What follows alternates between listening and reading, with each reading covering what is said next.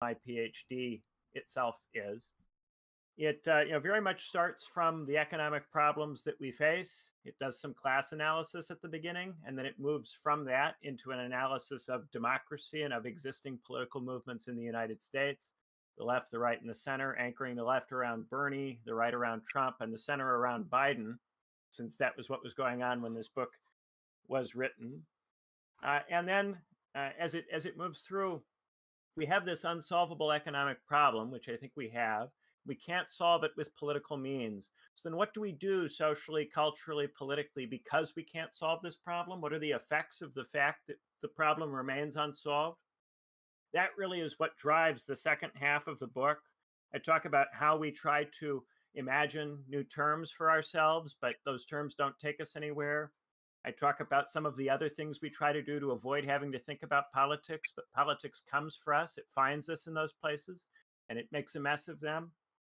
And then I talk about, uh, you know, uh, in part because there's such a tendency in social science for people to end with a, a pat solution. I do a chapter kind of picking at that whole idea that books have to end with some kind of positive solution. And I do, a, I, I kind of run through a few different possible things you could do and all the terrible things that would happen to you as you try to do those things all the stuff that would go wrong. You know, it's really it's it's six chapters. It's pretty quick and breezy compared to a lot of things I, would like to think. I'm just so flattered that you guys are, are actually sitting down to do this. This is really yeah, it's a huge compliment to me and you didn't even like ask me to lead it or anything. You guys are just doing it spontaneously of your own accord. It's so kind uh, so yeah. I'm definitely going to enjoy listening to as much of it as I possibly can. I'm fascinated to hear you guys talk about it without me having to tell you exactly what to think. So I'm I'm going to try not to say too much more about what it all says because I don't want to over determine how you interpret me. Mm. Have fun with it. Thank you so much, Benjamin. Uh, again, I thank you for all you've done, uh, all you've brought to Theory Underground, all you've added, uh, thank you for being just so gracious, gracious and and kind, uh, and and uh, a ray of sunshine. But I'm not saying that disparagingly. Like you really do kind of brighten up um, wherever you are. So thank you for all that. Um, and yeah, Sean is like I said. I think Sean's the captain of this ship. So, um, yeah. It's, uh, yeah. Thanks for, uh, yeah. I have to echo what Nance said. Thanks for, thanks for coming. This, uh, Benjamin. This is a fabulous surprise to have you here. So, uh, but yeah, you, and and props for such a great title. I mean, it's really, it's really a good hook. So.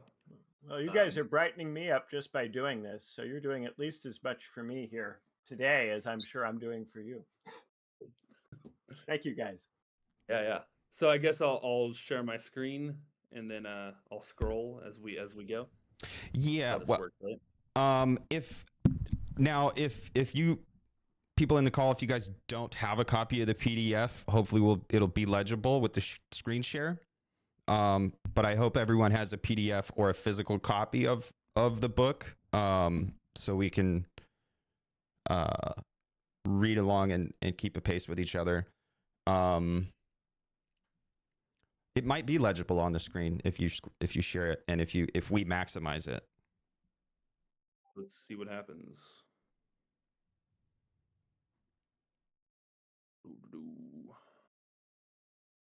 do I do? Let's do Chrome tab. Sorry, I'm uh, working out the bug because I've never never used this before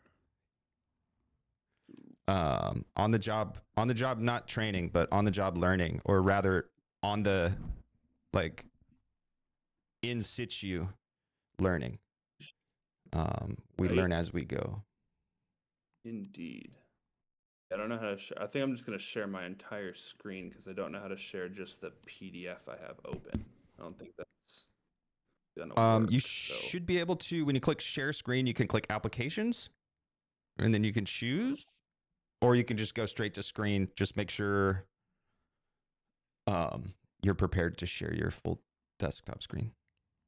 Oh yeah, there's nothing weird on here. the the thing that uh, notifications. I don't know if you have desktop notifications, but sometimes that'll have like personal information. Oh, yeah, it's Like not my laptop. and. Oh, cool. It might show Perfect. Google from because it's not my computer. It might show my roommate's fucking text, so I probably shouldn't do that. That's a good point. How do I Um, share? Okay, I don't know how to share just this. So when you click though. share screen down in the bottom, uh, click applications, and if you have it open in a Chrome browser, you can select Google Chrome, and then it'll just blast whatever, like whatever tab is open in that Chrome. I have the I have the PDF downloaded, so I don't know if I can. That's what I mean. I What do you use to read PDFs? Uh, again, it's uh not my computer, Right. so I'm a little bit. Is is you're not? It's okay. Is the PDF open right now? It is. It is. and it is Okay. Indeed. What program is that open in? Good question. Um, what program is this? It's just a file. I don't know what. Uh, Okay. So when you click on Yeah. share screen and in the applications tab, do you see it if you scroll down? No, I do not. Okay, hold on a second. Let me think. I know. I'm trying to think how to do this. Sorry, I tried to get here 15 minutes early, but then my audio wasn't working, so I spent that time doing that. It's all right, man. We're we're under no uh no pressure. We are the conditions of possibility. Everyone that's here is the conditions of possibility for this happening. So it's it's an implicit agreement that we can take as long as we need to take. Um do I open it in something else? so go to your I downloaded go to your file and like right click and like open with. open with. Oh, there you go. And if you can open with Chrome or Safari or whatever, and then um There- There is. That'll work better. Hell yeah. Okay, now I go ship oh, sh- I need to get it open too. Hold on, don't start yet, dude. there we go. I got it.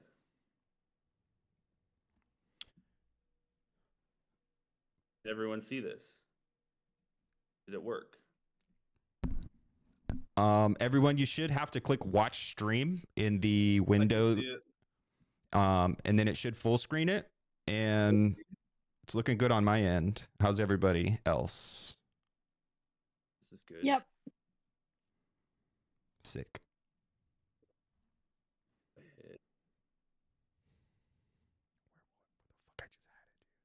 that. Not that.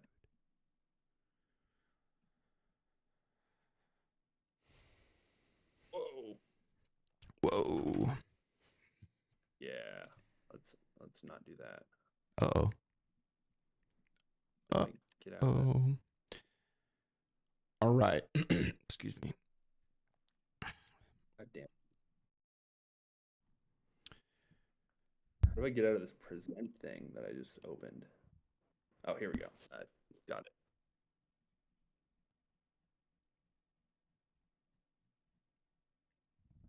Aha. That look good for everybody? Simone. Working? Yep. Awesome. Okay. I guess we'll get started. Do do we want to do like a three paragraphs each and, and switch?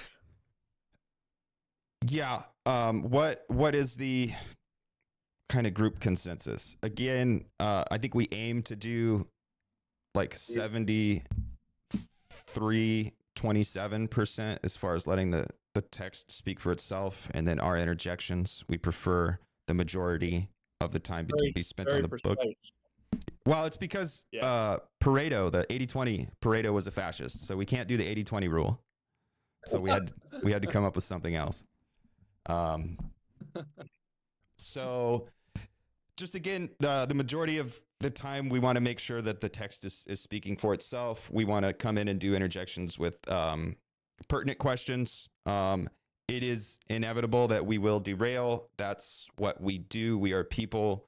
Uh, we can't help but derail, and it's okay as long as we're aware of it. We're we catch it. We get back on track, um, and it it does uh, tend to work best with like a three or four paragraph puff puff pass type thing.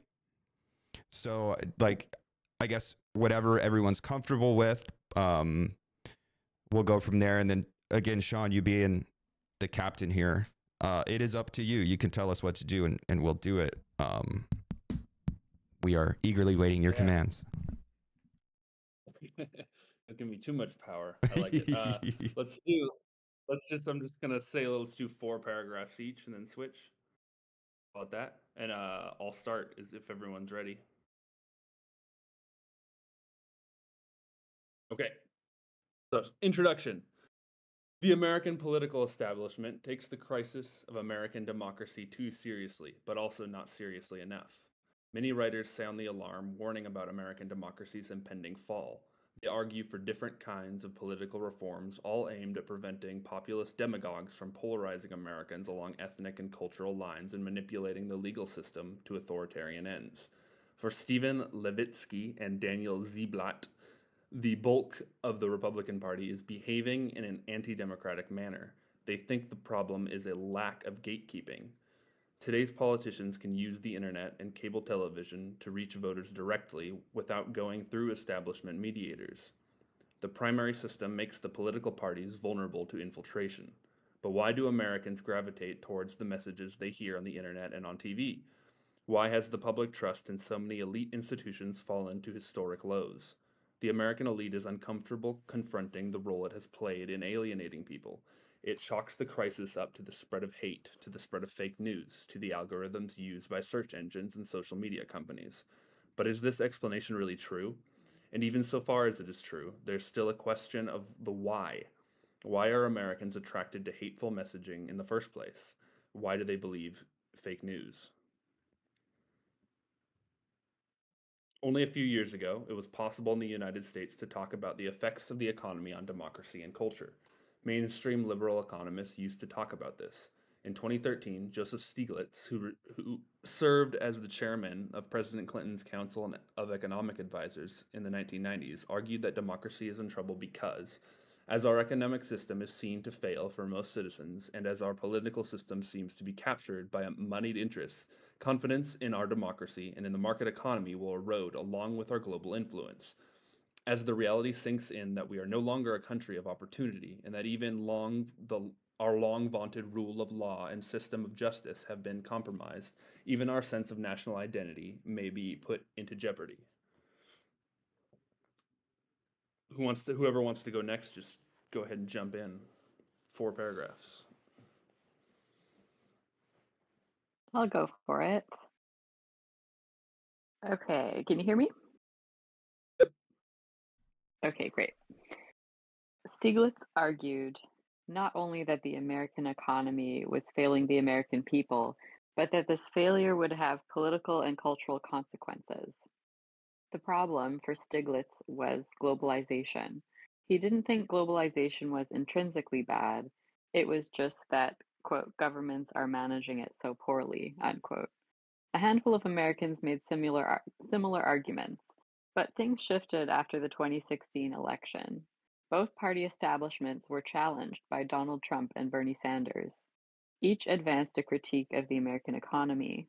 In response, much of the American elite closed ranks.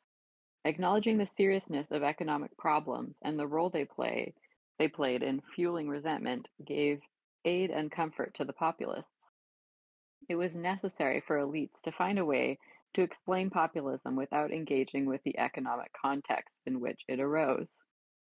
This was accomplished by setting up a dichotomy between economic and cultural explanations for President Trump's victory. It was either due to economic insecurity or cultural backlash. American political scientists looked at the income level of Trump voters. They argued that because many Trump voters were not personally economically insecure, economic factors could not be responsible for his victory. It had to be cultural rather than class. But the economy and the culture do not exist in separate universes. The economy affects the culture. Voters don't have to personally experience economic precarity to feel that the economic system is unfair, that the political class is corrupt. They may think the economy has been rigged by greedy, decadent, hateful elites. They may think those elites are the product of a debased culture. They may look for cultural solutions to economic problems. If you talk about the economic problems, you get accused of legitimizing the grievances of the populace, of aiding and abetting the bad people. To avoid this, American elites have increasingly become trapped in an insular cultural discussion. They are too busy denouncing the deplorables to make any effort to properly understand the problem or respond to it. This denial of economic reality makes elites look out of touch. Ironically, it fuels the very resentments that drive populism forward. I'll do this paragraph and then someone can pick it up uh, at the quote. Um, it's different in Britain and Europe. Discussion of the structural problems with the global economic system still flourishes in the old world. There are still deep, complex narratives that bring economic and political analysis together.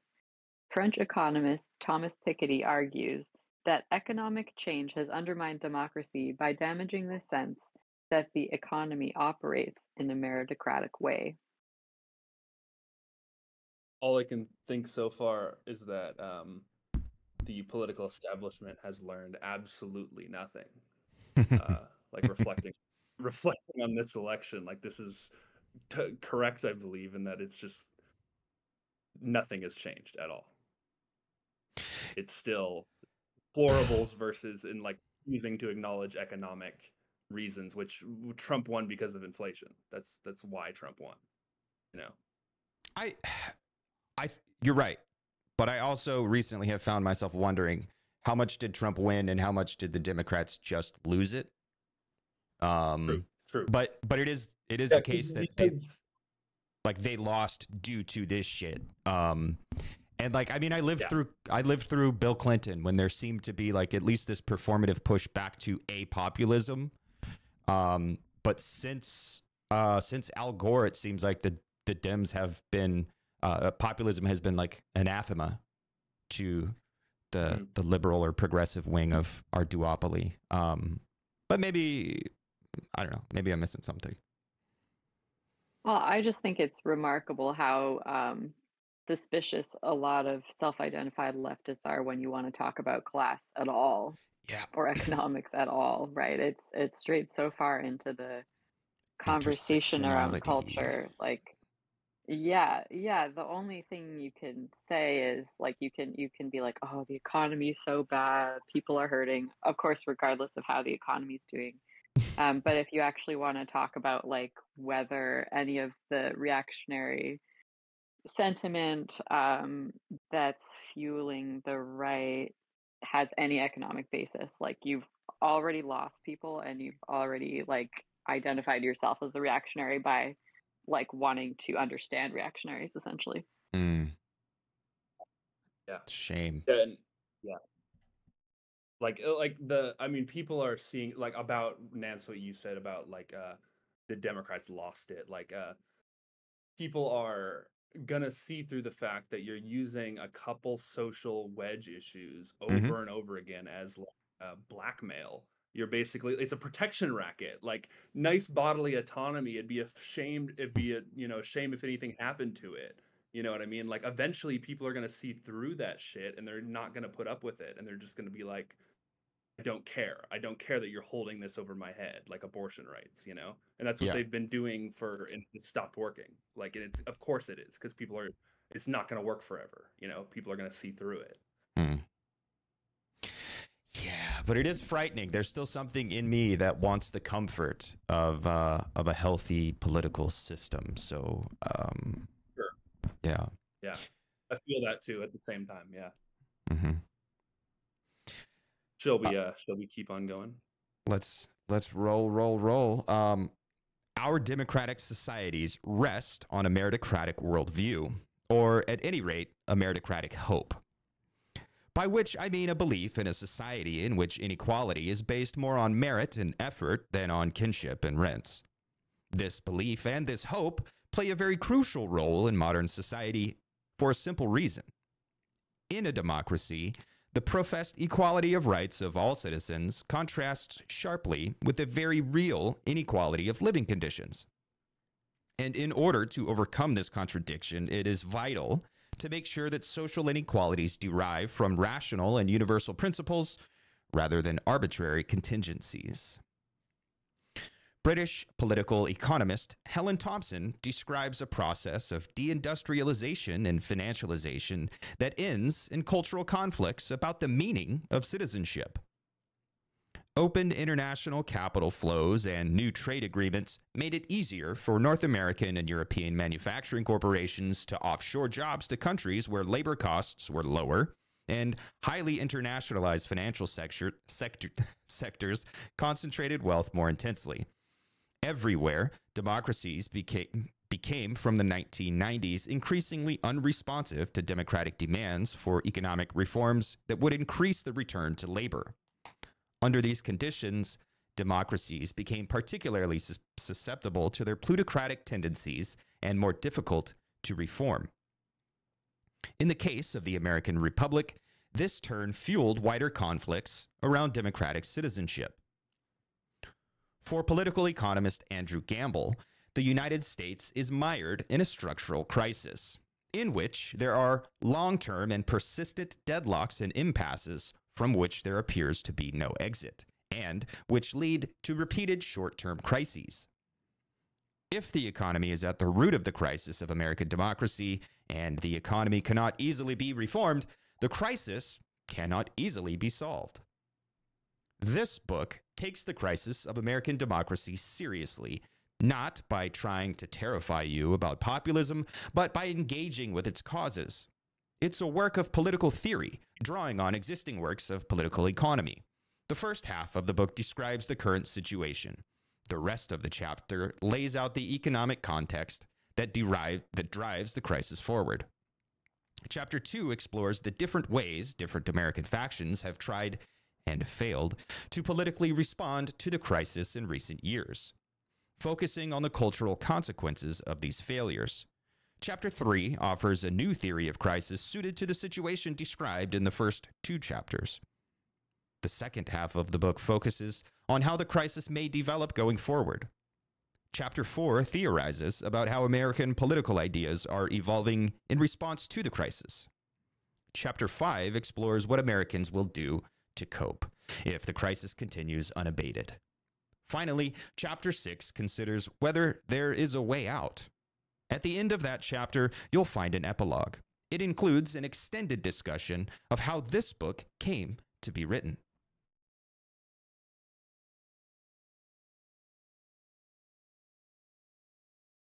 Who wants to take up the competitive global econom- economy and its consequences? I'll go for a bit. Oh, Oh.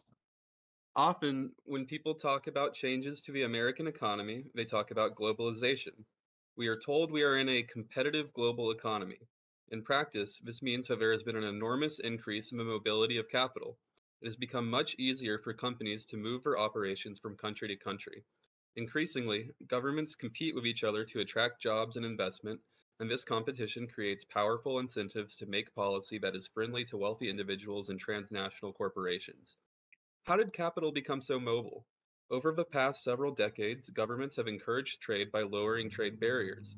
Tariffs, taxes on imports, have fallen dramatically. In 1970, the ratio of tariffs to imports was nearly five times higher than it was in 2017. Between 1970 and 2021, trade increased as a percentage of US GDP from 11 to 25%. When people think about the expansion of trade, they often think about outsourcing, companies moving jobs abroad. Outsourcing has eliminated some jobs. An estimated 3.7 million American jobs were lost due to the trade deficit with China between 2001 and 2018. But this is only one small part of the picture. Because companies can credibly threaten to relocate, government ec- economic policy caters to them. The government worries about job losses and it makes a point to limit them. Because of this, the problem is not so much the jobs we lose, it's the things the government does to keep the ones we have. To attract jobs and investment, our government stifles wage growth. It keeps the minimum, minimum wage down and it weakens the bargaining power of unions. The real inflation adjusted federal minimum wage was over $12 an hour in 1970. Today it's stuck at 725. In 1960, over 30% of American workers were in unions. Today that figure is 10%. Between 1979 and 2019, inflation adjusted wages grew just 8%, while overall GDP rose by 760%. Technological changes reinforce those trends. The internet makes it easier for more work to be done remotely, making it simpler for companies to move their operations around. Automation allows companies to expand produ- production without creating jobs or raising wages. Over the past 50 years, productivity increases have become completely detached from wage growth. Capital mobility doesn't just affect wage policy, it also affects the tax system. It's estimated that wealthy people have stashed between 24 trillion and 36 trillion dollars in off- offshore tax havens. But that's just the tip of the iceberg. Again, it's not about the revenue we lose, it's about the things we do to avoid losing revenue. Over the past 50 years, the government has filled the tax code with loopholes, undermining the statutory corporate tax rate. Taxes on corporate income fell from almost 32% of corporate profits in 1970 to just 10% in 2019. US states have cut their income tax rates to compete with their neighbors, and they sometimes even use tax revenue to pay companies to come to town. Nine states are currently without a state income tax altogether, and on top of this, states and municipalities give away an estimated annual $45 billion to $70 billion in subsidies. I love when uh, like a f- national level politician like says that like uh look, if we increase taxes on corporations, they're just going to send the jobs overseas. And I'm like I mean, it's one thing for a local level politician to say that, but when like a federal level politician says that, I'm like, you're the state. Don't let them do that.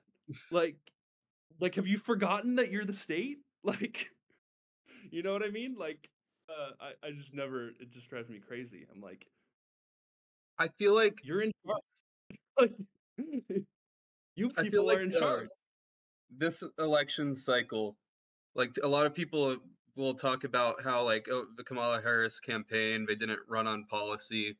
It's like uh, it's just pure culture war now or whatever. But even beyond, I feel like back before 2016, and maybe I'm just remembering, just misremembering things because I'm younger. I feel like there's even less like talk about just basic civics and how the government even functions in like media, mainstream regular new like as far as like because there's not any policy to talk about so they don't even try to like i remember there used to be a lot of um discussion about like i got the last big thing was uh there was a lot of like policy wonk kind of discussion about like the stuffing the courts Mhm. and but but and and and, i guess i don't want to get too off topic i'm that's just something that i was just thinking about in regard what off of what you were just saying anyways Mhm. Like Yeah, we're not even talking um, about a moment that stuck out to me around what you were saying, Sean, about the like, you are the state was like Kamala Harris, like in the early days of the pandemic, like retweeted or whatever platform, um, this like fundraiser, like a GoFundMe for uh, like servers who had lost wages. And again, it's like you could make a social safety net. Like we shouldn't be all throwing a couple shekels together here. Like this is the role of the state. You you are the state and here you are like being like, "Oh, these, you know, these servers have nothing since they're suddenly out of work." It's like, "Why is that, Kamala? Why is that?" But it's yeah, it's it's kind of remarkable that she can do that and receive I, I think pretty little criticism outside of like some snarky comments on Instagram. yeah.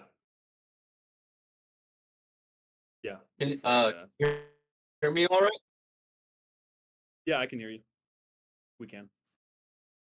Um, I think it, it also makes me think of the rather facile way uh, we often understand class interests.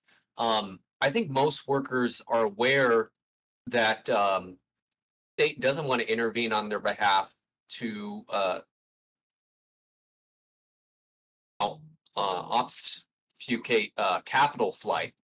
And so if they are aware of that, then they will be like, well, I know that the state can't keep uh, you know, my company from offshoring my job. Um, so the state better keep taxes low or do everything they can to keep my job, even if it means will get lower wages.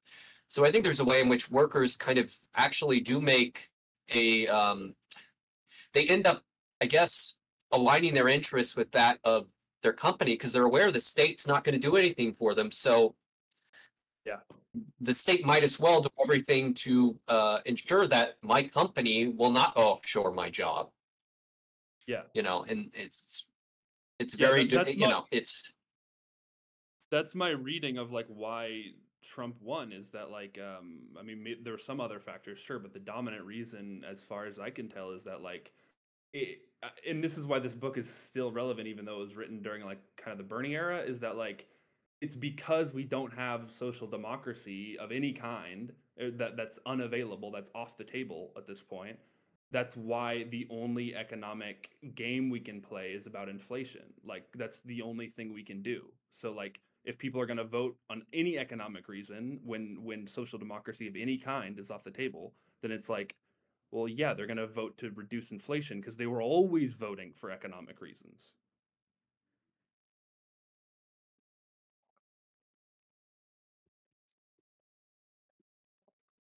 Hopefully that made sense but uh who wants to do the anyone else want to do the next one? I can do if no one if no one's ready yet Did has anyone we- not gone who wants to go There we go. Let's make sure everybody that's here gets a go. Yeah. I can't even see who's here so I, yeah i'm like just looking at the I can go. Yeah, It's, it's Jordan. Um, revenue becomes tighter and tighter. States are forced to chip away at the quality of their public services. Across the country, average inflation adjusted teacher salaries fell 4.5% between 2010 and 2019. Teacher salaries in 2019 were 19.2% lower than those of comparably educated workers, and that leads to shortages. Many states try to staunch the bleeding by raising sales taxes and sin taxes, shifting the burden of supporting public services onto the backs of ordinary working people. In 2016, Ted Cruz even proposed a federal sales tax as an alternative to the entire federal income tax system. With such weak wage growth, how can Americans buy enough to support the economy? With a shrinking tax base, how can the government pay for infrastructure and essential services? More money to buy more goods and services. If they aren't getting that money from wage growth, they have to get it some other way. Sociologist Wolfgang Streeck outlines three different ways governments have tried to make up for persistently low wage growth. First, in the 1980s, the federal government ran up large deficits, propping up consumption by continuing to fund public services at a level beyond what revenue would support. In the 1990s, the size of the deficit became worrying, and the government instead began encouraging its citizens to borrow excessively large amounts of money, culminating in the subprime mortgage debacle of 2008. At this point, governments resorted to quantitative easing. As Streeck puts it, today's political fix is called quantitative easing, essentially the printing of money by treasuries and central banks to keep interest rates down and accumulated debt sustainable, as well as prevent a stagnant economy from sliding, sliding into deflation at the price of more inequality and of new bubbles in assets, markets, building and eventually collapsing. Uh, indeed, economic inequality has soared. Uh, the ordinary person has to try to find a way to navigate this increasingly precarious world. But there is no easy path in the 21st century, and most of the life paths available to people are likely to end in deep resentment. Let's explore how three different classes experience this new kind of economy the workers, the professionals, and the employers. This schema purposefully simplifies things. Other factors apart from class, like cultural identity, influence any given person's experience of economic change and the set of political solutions to which they might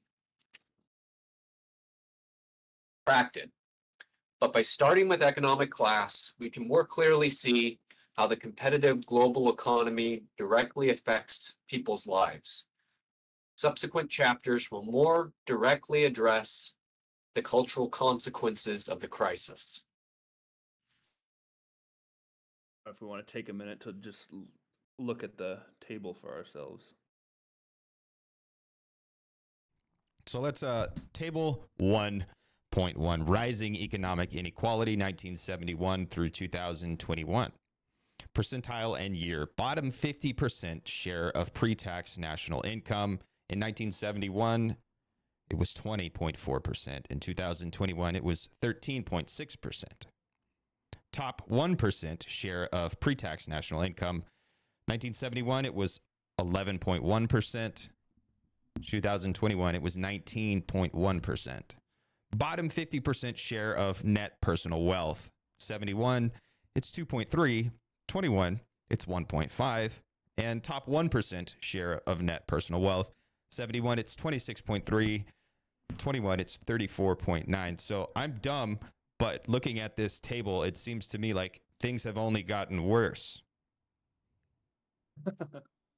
Uh, I'm not the the most smartest mathematician guy, but I think that's what those numbers mean. It seems to be the case that the poor got poorer, the rich got richer. And significantly so, right? Like in the line that's talking about the top 1% share of pre tax national income, it went from 11% to 19%. So it is very close to double, It's doubling. Yeah. right? Isn't it? Isn't what sh- like in Pennsylvania? It was a hedge fund manager who won like House seat. I think it was one of the congressional seats in Pennsylvania. Like Uh, a, a hedge fund. This time around? Yeah, Oh. Wow, that's sh- shocking. I'm that's sure I'm not. Well, I'm not paying any attention, so you're probably right. But that's shocking, dude. PA Yeah. has PA has a pretty strong like populist uh uh pull. Yeah. So for them to elect but, a hedge fund guy, it's pretty gnarly. Oh, look who Trump is. Trump is the guy who will raise your fucking rent. Yeah, like that's who Trump is. He's president, and like it blows your mind. But it's like this is to me, this is like this is how terrible the Democratic Party is. Like how incompetent their their running of elections are, is. That Yeah, dude. hedge fund manager in a, in a oligarch like a, a, a neo feudalist oligarch can be you know running our country. You know. I, I like What it's it uh I, I think it it's very plain to see that there's a lot of resentment with i mean i resent the the left right and i, I resent my former commitments or whatever um but i also wonder like how much of it is is a, a resentment where it actually becomes like the people get off on the fact that trump is like step on me harder um I don't even think okay, maybe, maybe there's something to that. Like to me, like when I was talking to a coworker at at work about uh about Trump, he was like, "Well, at least Trump knows how to." I was I was saying they're total, they're both bad options. I I don't care about this election, is what I was telling him, and he was like, and he was like, "No, you have to vote because at least like Trump knows how to how to use money, how to like handle money." no he doesn't That's I'm like, okay. exactly it. Yeah. A no, he crucial. doesn't. But B, like, sorry, go ahead, go ahead, Kier. No, I I just wanted to say, like, I think the thing I've heard the most from Trump supporters, not that I've had contact with too many in Canada, but um, is is he's a smart businessman. And I think Yeah. when we've gotten to the point where there's no meaningful distinction for people between corporations and the government, when that seems to have like merged into one blob, then they think that a businessman is who we need in charge of the government, right? That's like I Mm. think that's like the simplest answer that I hear from people the most frequently is he's a good business, which he's not, but that's besides the point. He has the, the image of a good And one. it- And to me, it's like he's it, it's it's just like this is why I think the Democrats are incompetent. The fact that they cannot make a better case than that. Like to me, this is just incompetence. dude, here's the deal. Uh, it's not incompetence. Um, No. It is. It's by design. So Benjamin is good on this. Actually, I was kind of like, uh, I was amazed recently the other day. Benjamin was talking about how it's it's like th- they intentionally don't court uh populist voters like they, they intentionally don't court you know left leaning or progressive values having populists because they don't want to have to do anything and so they're used to playing this game where it's like we're on a teeter totter and the- they would rather lose than actually have to do anything structural. Um and like i'm i'm uh Crazy. pretty over it or whatever right? Like electoralism is Yeah. it's it's a lie. I'm a i'm a black pill. Look how edgy i am. But like benjamin i think might have a more irascible black pill because he will actually go through and kind of like break down like no they intentionally don't do this like they're um they're complicit they're not even complicit. Like they are the ones who are stepping on our necks. It's not that they're like just standing by while we get fucked.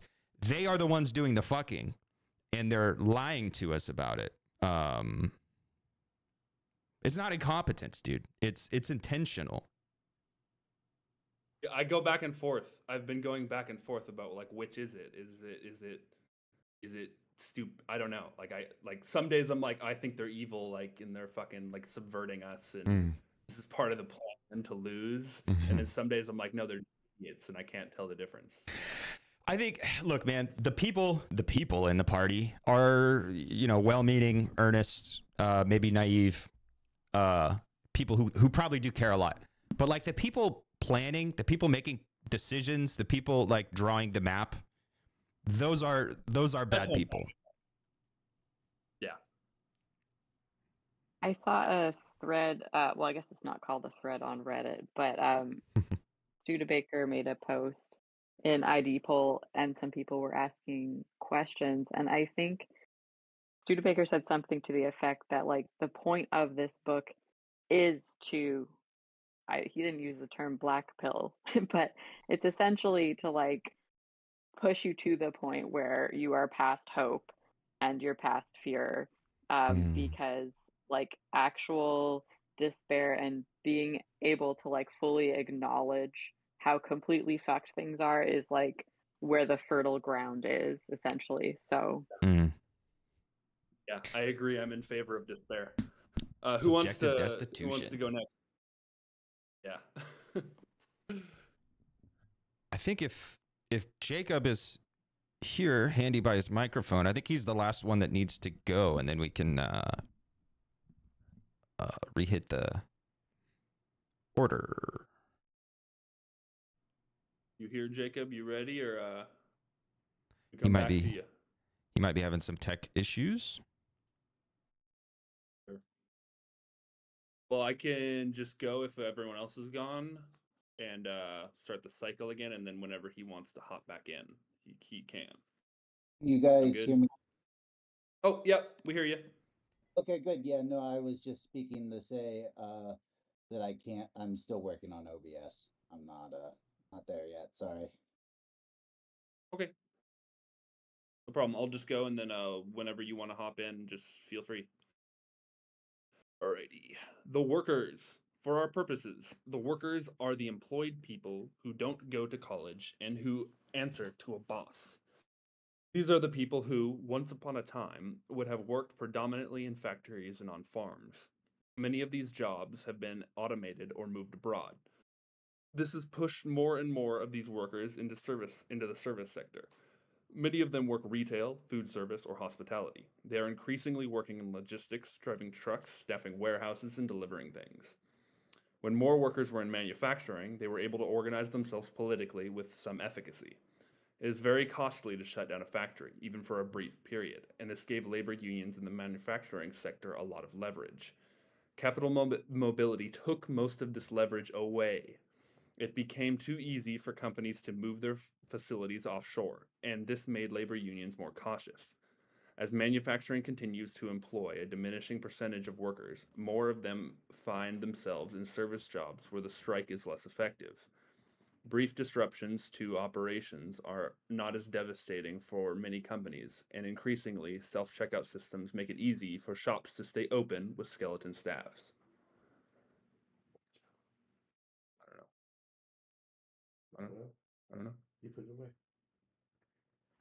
I don't remember. Sorry. Sorry. Uh, even when the will to organize is there, the government has made it, it steadily harder for old unions to survive and for new unions to form. Right to work laws frustrate unions, making it easy for wor- workers to enjoy the benefits of working in unionized workplaces without having to pay dues. This makes it hard for unions to build up the resources they need to support their members during strikes, and that makes workers more skittish about using what leverage they do have. As union resources and leverage decline, they have fewer successes, and their successes fade. They struggle to persuade workers to join and contribute. The unionization rate in the United States fell by more than half between 1980 and 2020.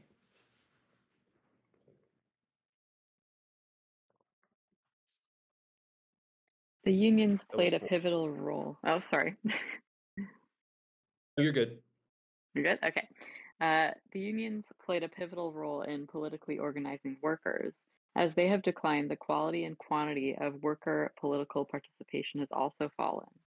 Political scientists Jacob Hacker and Paul Pierson argue the biggest political problem for workers is the lack of groups that can, quote, provide a continuing organized capacity, unquote, to both monitor government policy and mobilize workers to respond to it.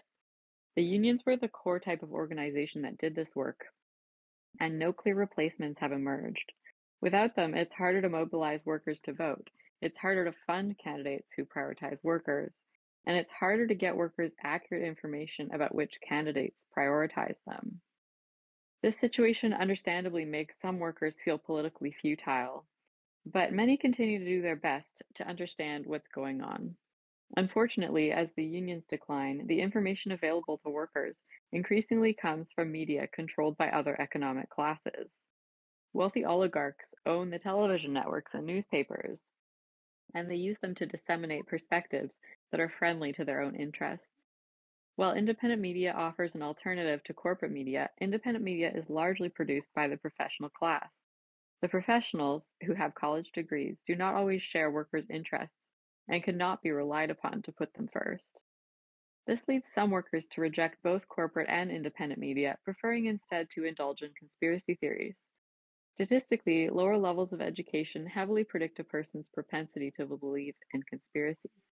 While conspiracy theories are often mocked by oligarchs and professionals, they are a way of trying to understand what much of the corporate and independent media refuse to explain why the country is becoming increasingly cruel and unfair to working people. Workers who engage in conspiracy theories do not understand the changes, but they are at least trying to understand. At least they are able to recognize that corporate and independent media are not principally interested in helping them. Unfortunately, the conspiracy theories are no more helpful than much of the rest of the media.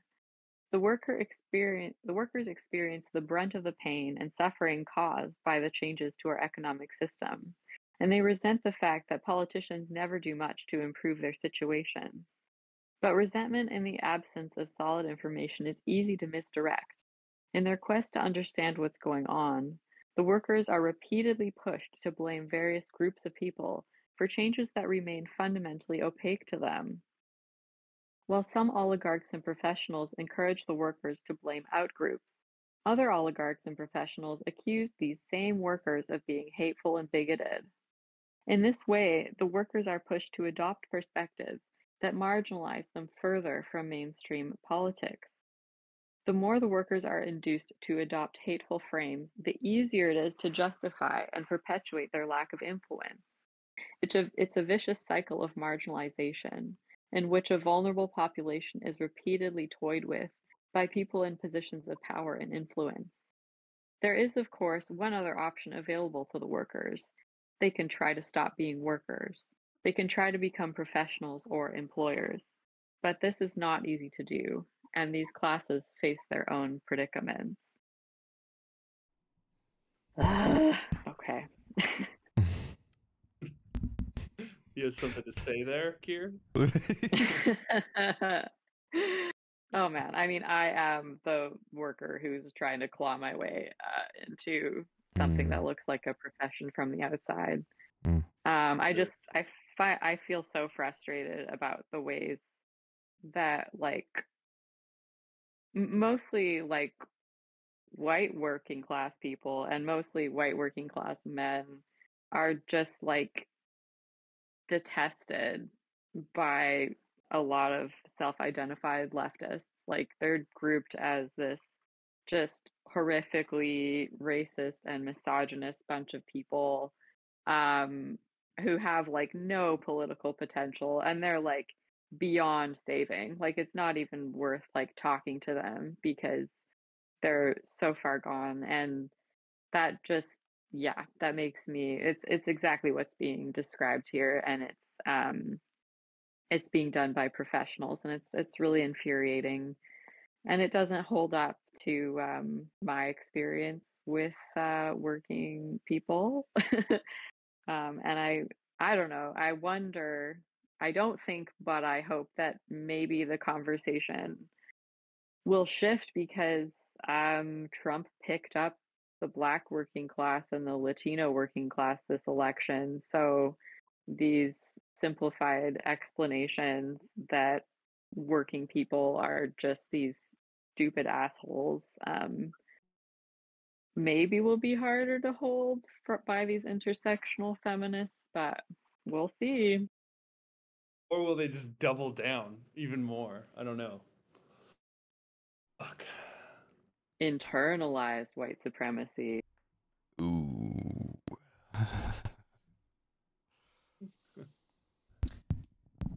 the professionals.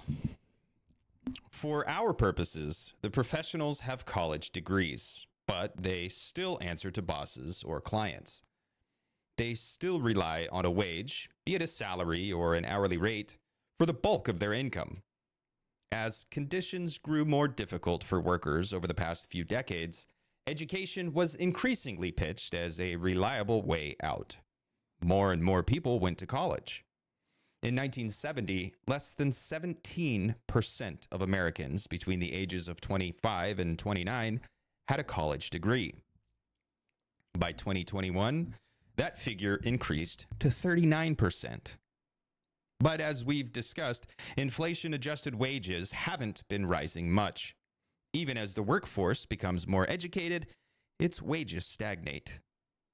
This means that while today's professionals do earn more money than today's workers, they aren't earning dramatically more money than the workers of yesterday. Social mobility in the, Uni- in the United States declined substantially after 1980, both intergenerationally and within one lifespan. More people aren't earning more money than their parents or their younger selves, even though they are often more educated than their parents and their younger selves. A third of college graduates and nearly 40% of recent graduates work in jobs that straightforwardly do not require a college degree. As the number of college graduates increases, more and more jobs require degrees simply as a means of thinning their applicant pools.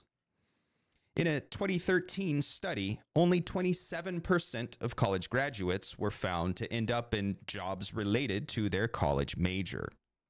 Increasingly, people have to go to college simply because other people are going to college, and employers will choose the people who have been to college over the people who haven't.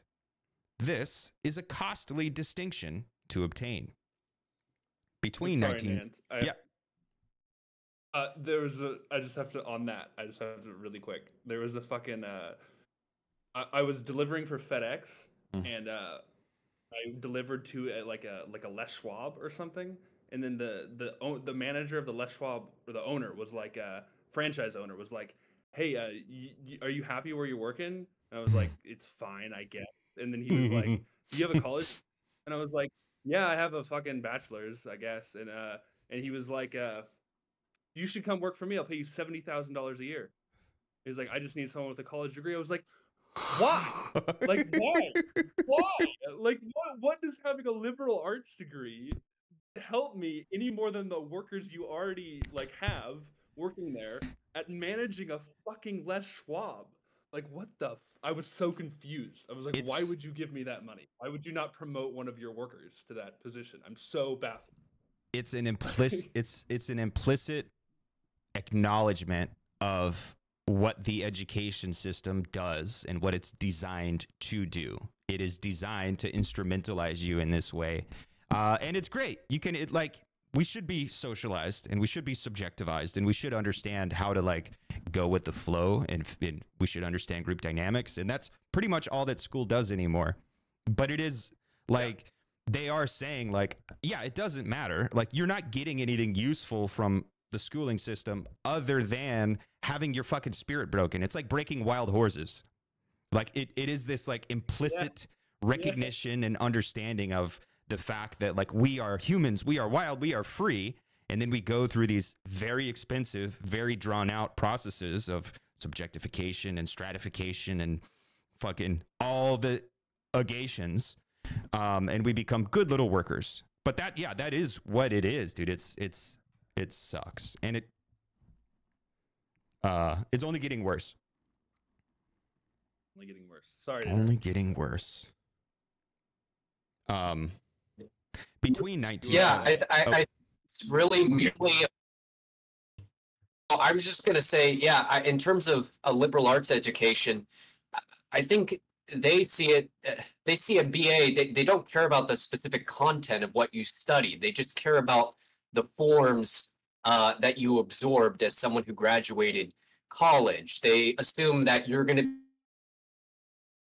be someone when you meet with a client, you're going to speak a certain way. You're going to have a certain vocabulary. But you know, they uh, it's really about all these things that are almost seem like uh, byproducts of a college ed- education, but are in fact the main reason employers uh, see that as a benefit to them, Mm. um, which is a very backwards way of looking at education because um, it is, yeah, the pure instrumentalization of education. I don't care about any specific thing you learned. I just want you to have had the sociocultural education that, you know, any BA and that's that's significantly less useful if more people have it. Mm. Uh, yeah, Well, and workers like myself talk like cavemen, right? So we can't be trusted to, you know, perform basic tasks. Ooga booga. Fucking. uh, ooga booga, motherfucker. Um, between 1975 and 2021, the cost of tuition and fees at four-year public colleges multiplied almost 40, 40, 40 times over, while the cost of four-year private colleges multiplied almost 15 times over. Student debt exploded. In 2021 dollars, the average graduate in 1975 owed just $5,060. Today, the average graduate owes $31,100. If we exclude the 17% of graduates who manage to avoid debt entirely, the average borrower owes $37,113. President Biden has recently tried to forgive some of this debt, but tuition continues to rise, and every year millions of students take on ever larger debts. This results in a kind of indentured servitude. Graduates must acquire enormous debts just for the privilege of earning wages in line with what workers earned in the 19 or in the 70s. Once they graduate, these debts force them to take whatever jobs are readily available. Only a small minority manage to find careers in their major. The effect of this debt burden on young people is hard to overstate. In 2019, millennials held only 3% of American wealth. Damn, son. When baby boomers were the same age, they held 21%. Their share was seven times larger. Seven. Often, graduates are forced to travel very far away from home in search of a way to pay down their debts. A full 77% of college graduates have moved communities, and only 24% of those mover graduates say that home is where they live now. This forced migration makes it harder for young adults to make friends and form social ties. Among millennials, 30% always or often feel lonely. 53% have fewer than five friends in total, and 22% have no friends at all. Torn from their loved ones, many retreat into internet rabbit holes and unhealthy lifestyles. The COVID 19 pandemic intensified these feelings of isolation.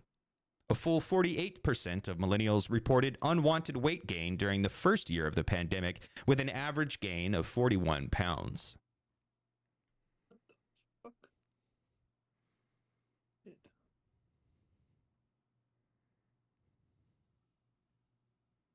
It was an average gain of 41 pounds. Jeez. That's crazy, dude. Uh, that's crazy. So that tracks. that That's a lot- no, that does- no, no, no, no. Yeah. Hold on, though. It, that doesn't make sense to me. That's a lot of weight. It's, it's so so. Wait a minute. So for millennials, I think I'm only surprised. Go ahead. for millennials, the average gain of 41 pounds, like, so is that like millennials as a cohort, like the average over like all of us? So like some gain none and others gain like like a hundred or whatever. So it equal. That's That a lot of weight. that. That's a lot of weight, dude. I can't gain weight to save my life. I don't think that that's. I think I'm understanding the statistic differently. I think that it's like only f- a 48% of millennials reported the weight gain. Okay. And Gotcha. of Oh, those 48%, the average gain was 41 pounds, I'm guessing. Gotcha. That's still huge. That I mean, that's still a a, a, a lot. Yeah. Oh, Um, yeah, yeah, yeah. Uh, reading that sentence again, I'm like, here, you're right. That is, that is Yeah, that- that, that's still uh, distributed. That's Dude, still I'm- the average distribution That's still a over lot. the number of people who reported. Like I I notice like a f- a five pound fluctuation. Like s- like sometimes you know, like forty one pounds is a lot. Like you've got to be pretty desperate, um, to get there. Not trying to make anybody feel bad if anybody gained a lot of weight. I'm, it's okay. No, I'm that- I that's also suck people- at lots of things. Food as medication. Yeah. That fucking lockdown was really bad for people in a lot of ways. I think uh, the only reason why it was shocking to me when I read that sentence is because I worked through the entire fucking Yep. pandemic. Like I was moving furniture the whole time, so I was not like if you were sitting at home, like yeah, it's like I didn't have that experience. So I read that sentence and I was like, what the fuck? But then I'm like, okay, went- it kind of For real. from sense. Houston to Yeah. walk uh, 50 kilometers a week uh, on my feet at the high school to a person who sat behind a desk like this Mm. for eight hours. Mhm. Um, and so that had a that had a I'm one of those people who that had a tremendous impact on my body because then I also wasn't Mhm. like going out to punk shows or dancing at raves or anything like that. You know, and after a couple of months, my spouse and I actually had to be like, okay, well, we need to like create an exercise routine because life is different yeah. That just shows right there. That shows the like uh, the fact that like so, for some of us that sentence is shocking. Is like uh, maybe that right there shows the PMC working class divide a little Mm. bit. You know, That's a good point. some of us are like, what the fuck, and then others are like, well, obviously, you know. Do you know that the the PMC took to the lockdown like uh like ducks to water. Mm. Um, all of a sudden, work Yeah. was reduced to meet like we didn't come come back from the offices. The capitalists forced us to come back from lockdown uh, against the wishes of maybe some in the state who were who either they were either benefiting from the lockdown or or they they thought it was a, a necessary sort of regulation to to prevent catastrophe. Uh, but like the owner class definitely wanted us to come back from the office, and it wasn't out of motivation for the PMC because Hmm. the PMC was doing just fine, doing nothing but having Zoom meetings. That was basically their that's their dream existence. Hmm. yeah. I wonder though, I think one factor that seems to be under discussed is like, you know, because I think a lot of workers did want to stay remote, but um, and there are various quality of life reasons for that. But one thing is like just the um, for companies to be able to like um, I don't know what the right word is, externalize, externality, like like yeah, yeah. basically the costs, internet costs, cost of a desk and a chair, and like heating and and all of this stuff could be like potentially permanently you know put on workers um although it, it doesn't seem like like a lot of companies have one and people back regardless so maybe it's it's not the way it's going Yeah. but that seemed to be kind of glossed over Yeah, it's the the they wanted them back because of I actually was writing a paper for this for TUCon that I that I put on the back burner, but they wanted them back because of the ideology of the workplace, the, the mechanical replication, ideological interpolation that happens to us in a workplace community. We we're not getting that. I because like again, everything would have been more profitable. It was like in the uh there's that paper in the TU book, uh Ted Reese's book. hmm Uh, like he demonstrates these guys have these these billionaire plutocrats. They have good accounting. They could do the math. They could see it was more profitable for them to keep to keep people out of the office. So there was a Hmm. reason they chose to have to to have their media apparatuses say you need to come back to the office uh, to, to you know put up billboards outside of around the Bay Area on the 580 like it's time to come back to work you know like that was done because of the value of workplace culture Foucault, man, the bells. Yeah, that's So fascinating it was. It was. But- But also different ahead. segments of of cap have uh, different segments of capital have different interests. If you're a capitalist uh, in commercial real estate, you definitely have an interest in people coming back to the office.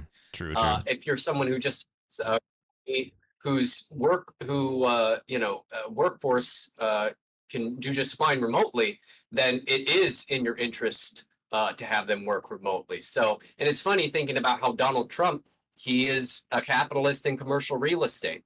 Um, so he represents you know a segment of capital that you know, for example, would have an interest in people not working remotely, and perhaps that's why you know um, very indirectly why maybe the PMC, uh, you know, is the party of, uh, or the Democrats are the party of the PMC, Republicans are the party of productive capital, of commercial real estate, so on and so forth.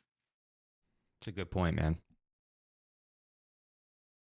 yeah because it's I have more shit to Oh. say, but I want to keep moving. Also, oh yeah yeah Cap- capitalism is being served either way um, eventually which is which is the nice thing for capitalism um i uh uh i f- i think i finally have my audio and my video and obs working though not the the obs camera um but I, I should probably bounce out in about 15 minutes do you folks want me to to take over reading uh around here yeah, that'd be cool. yeah awesome cool cool cool where what where are we at i'll uh, squint really close at this at this camera Are you looking at the screen share? i am looking at the screen share yeah Highlighted where we're starting. Young pe- young would be Oh, okay, okay.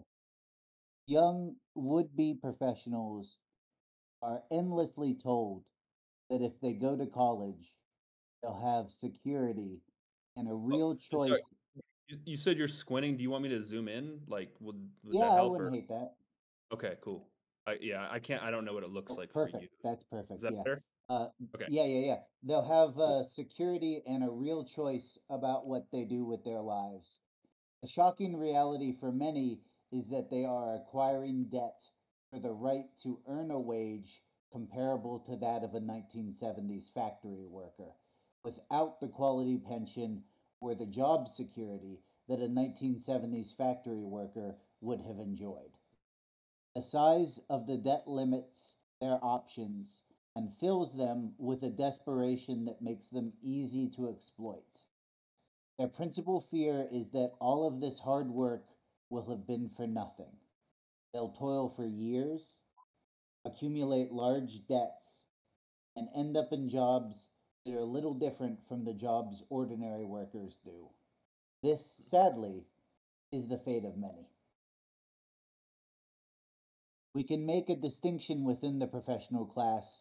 On the one hand, there are rump professionals who manage to get secure jobs in their majors and have the kind of life they envision for themselves where they make deci- when they made the decision to go to college. On the other hand, there are fallen professionals who are forced into jobs that are precarious, low paying, or not in their preferred field. The fallen professionals are deprived of most of the benefits they were promised when they made the decision to go to college. All they have left for their university experience is their cultural capital, their familiar, this is talking about me now, uh, their familiarity with the symbols, norms, and language that educated people use. The more the fallen professionals are, are made to live like workers, the more they hold on to this cultural distinctiveness as a way of resisting proletarianization. This means the fallen professionals are constantly drawn into pretentious discourses that exclude ordinary workers. Again, me. Uh, the more a discourse excludes workers, the more that discourse flatters the fallen professional's self concept as a highly educated person of taste whose merit and virtue have gone unfairly unrewarded. Um, the obscure type of characters. Should I keep going?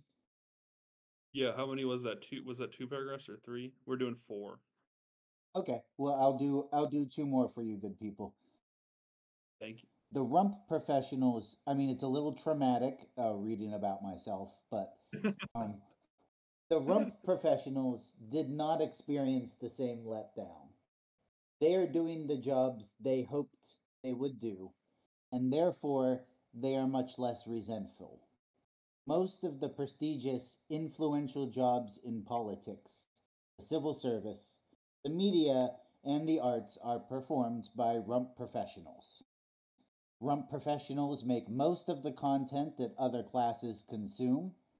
They often work for oligarchs and corporations, but most of the people who consume the content they produce are workers and fallen professionals. To attract an audience, rump professionals need to cater to the resentments that workers and fallen professionals feel.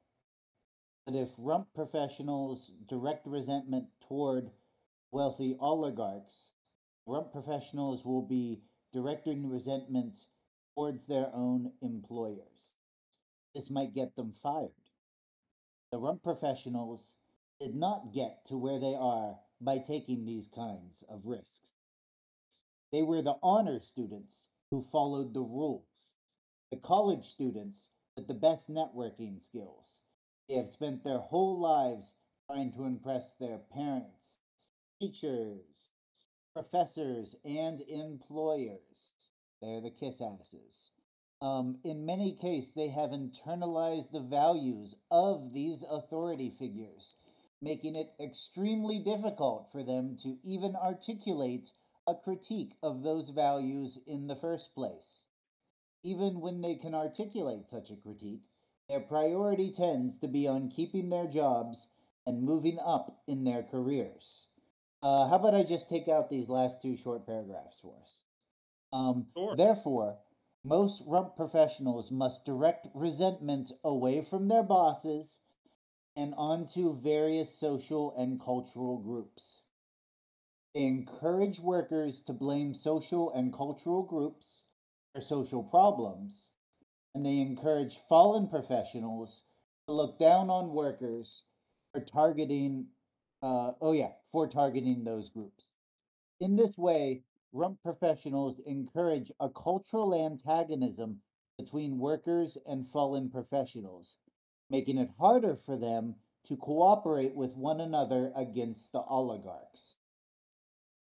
Even when workers, professionals avoid swallowing these narratives, the rump professionals' emotionally intense content monopolizes public discourse and crowds out alternatives. Anger and outrage are enormously viral online, and the market rewards media outlets and political organizations that find ways to generate it. The rump professionals are, for the most part, unaware of the role they play in perpetuating divisions and drowning out constructive attempts to organize. Many of them genuinely believe in the values of their employers.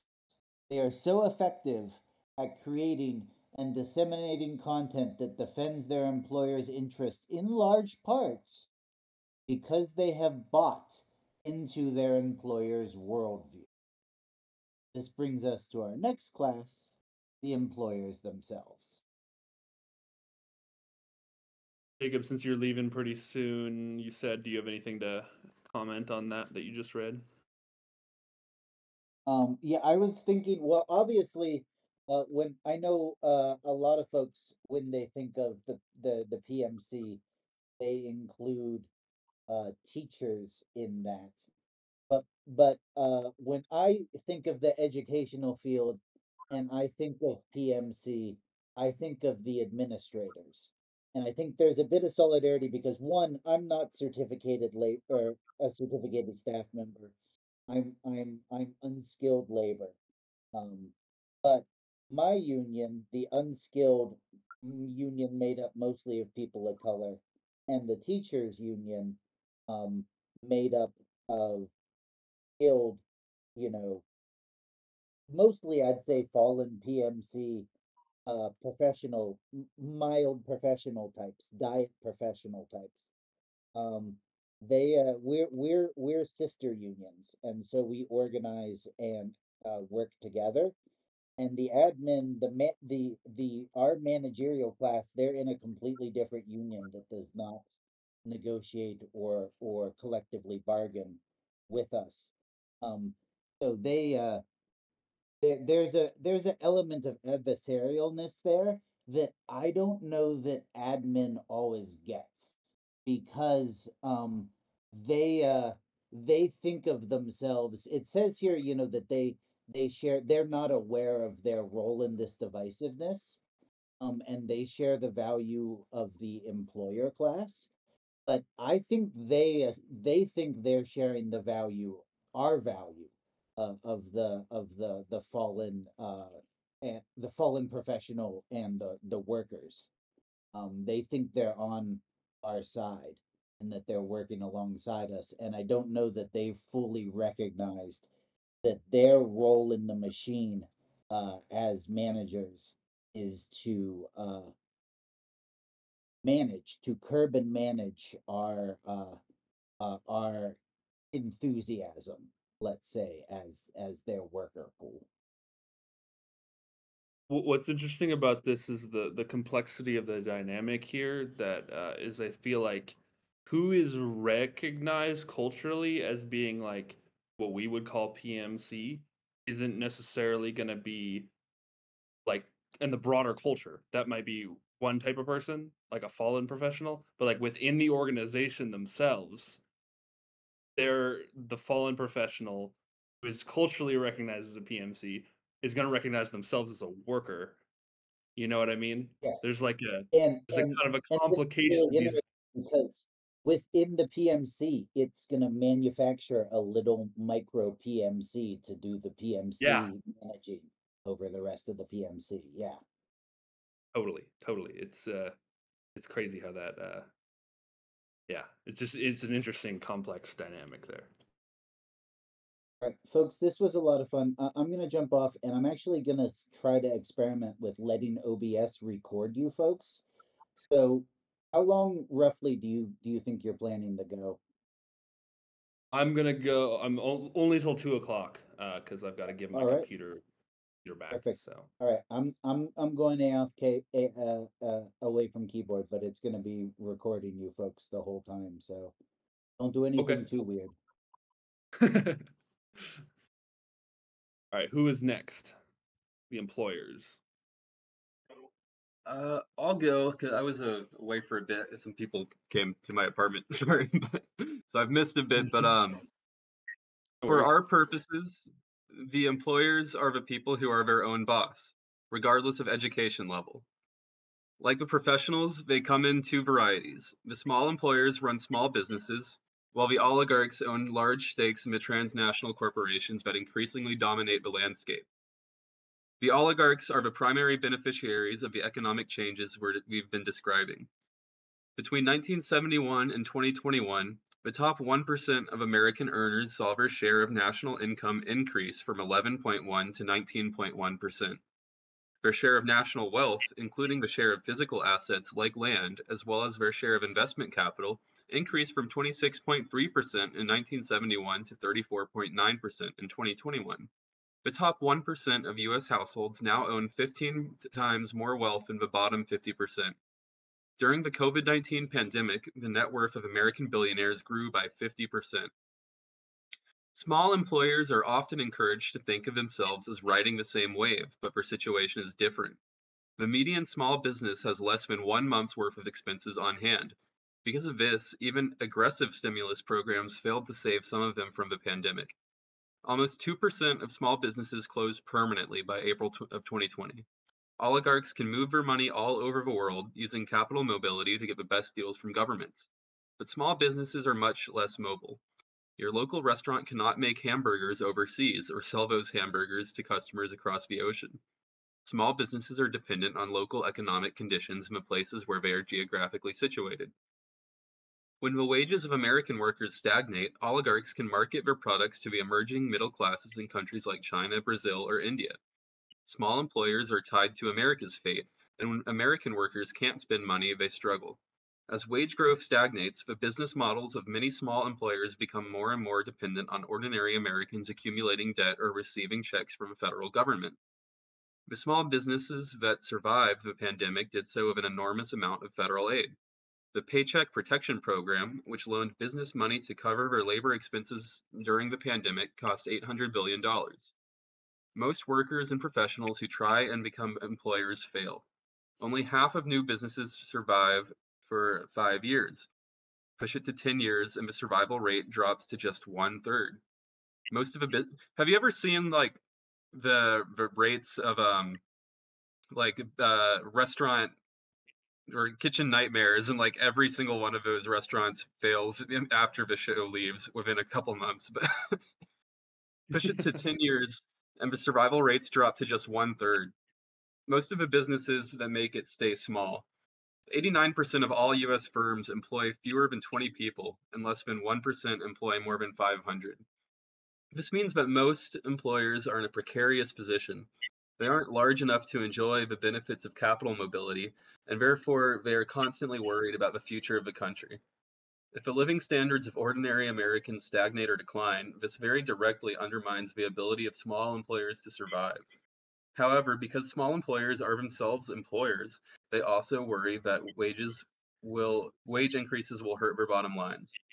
This puts them in a contradictory position.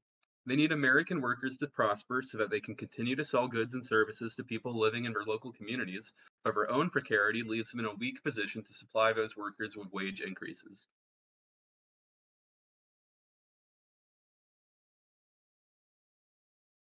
Who's Um, next?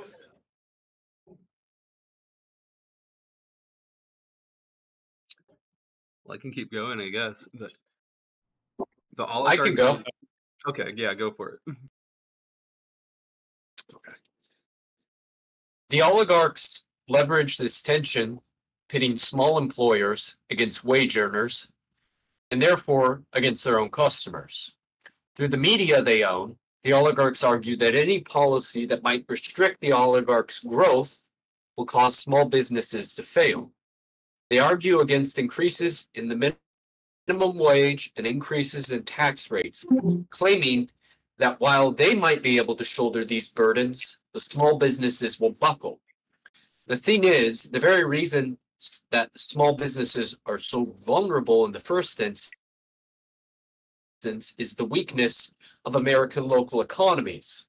It is because oligarchs push down wages and push down tax rates that small businesses have a customer base that is so vulnerable and in, so inconsistent. This way, the oligarchs perpetuate a vicious cycle in which the increased vulnerability of American small businesses is used to get those businesses to support policies that make them even more vulnerable. Desperate to survive, small businesses often resort to wage theft. An estimated $15 billion to $50 billion is stolen from American workers here. Often employers fail to pay overtime, force employees to work off the clock, misclassify their workers as independent contractors, pay them with checks that bounce, confiscate their tips, and even, even illegally deduct their own expenses from workers' wages. Nearly four in 10 American workers report having lost wages in these ways. Most never come forward for fear of retaliation, and this makes it difficult for us to know the true extent of these losses. Apart from the oligarchs, no one is safe from the consequence of the competitive global economy. The workers straightforwardly experience stagnating living standards. The professionals compete with each other for a scarce number of lucrative roles in which they are often paid to produce propaganda for the oligarchs and corporations, employ them and fund their work. The small employers need American workers and professionals to provide them with a strong, stable customer base. And as that base erodes, they are too they too are increasingly fragile all of these classes are full of anxiety and worry. I don't know if we want to stop there for any commentary or just continue reading or, uh, but uh, yeah, I, I did think it's. Oh, go ahead. I, I did think it's uh, um, just interesting talking about working for small businesses and how uh, it often is a far more onerous experience than working for a large corporation. Um, Yep. you, yeah, I mean, you really are just at the whim of someone that unfortunately you often have to work alongside of uh, every day, as opposed to kind of, uh, in a way, the more preferable alienation uh, where you're um, that you just don't have in a small business um, and you know there aren't like procedures for you know taking time off or uh, requesting sick time that you have at least with working for a large corporation.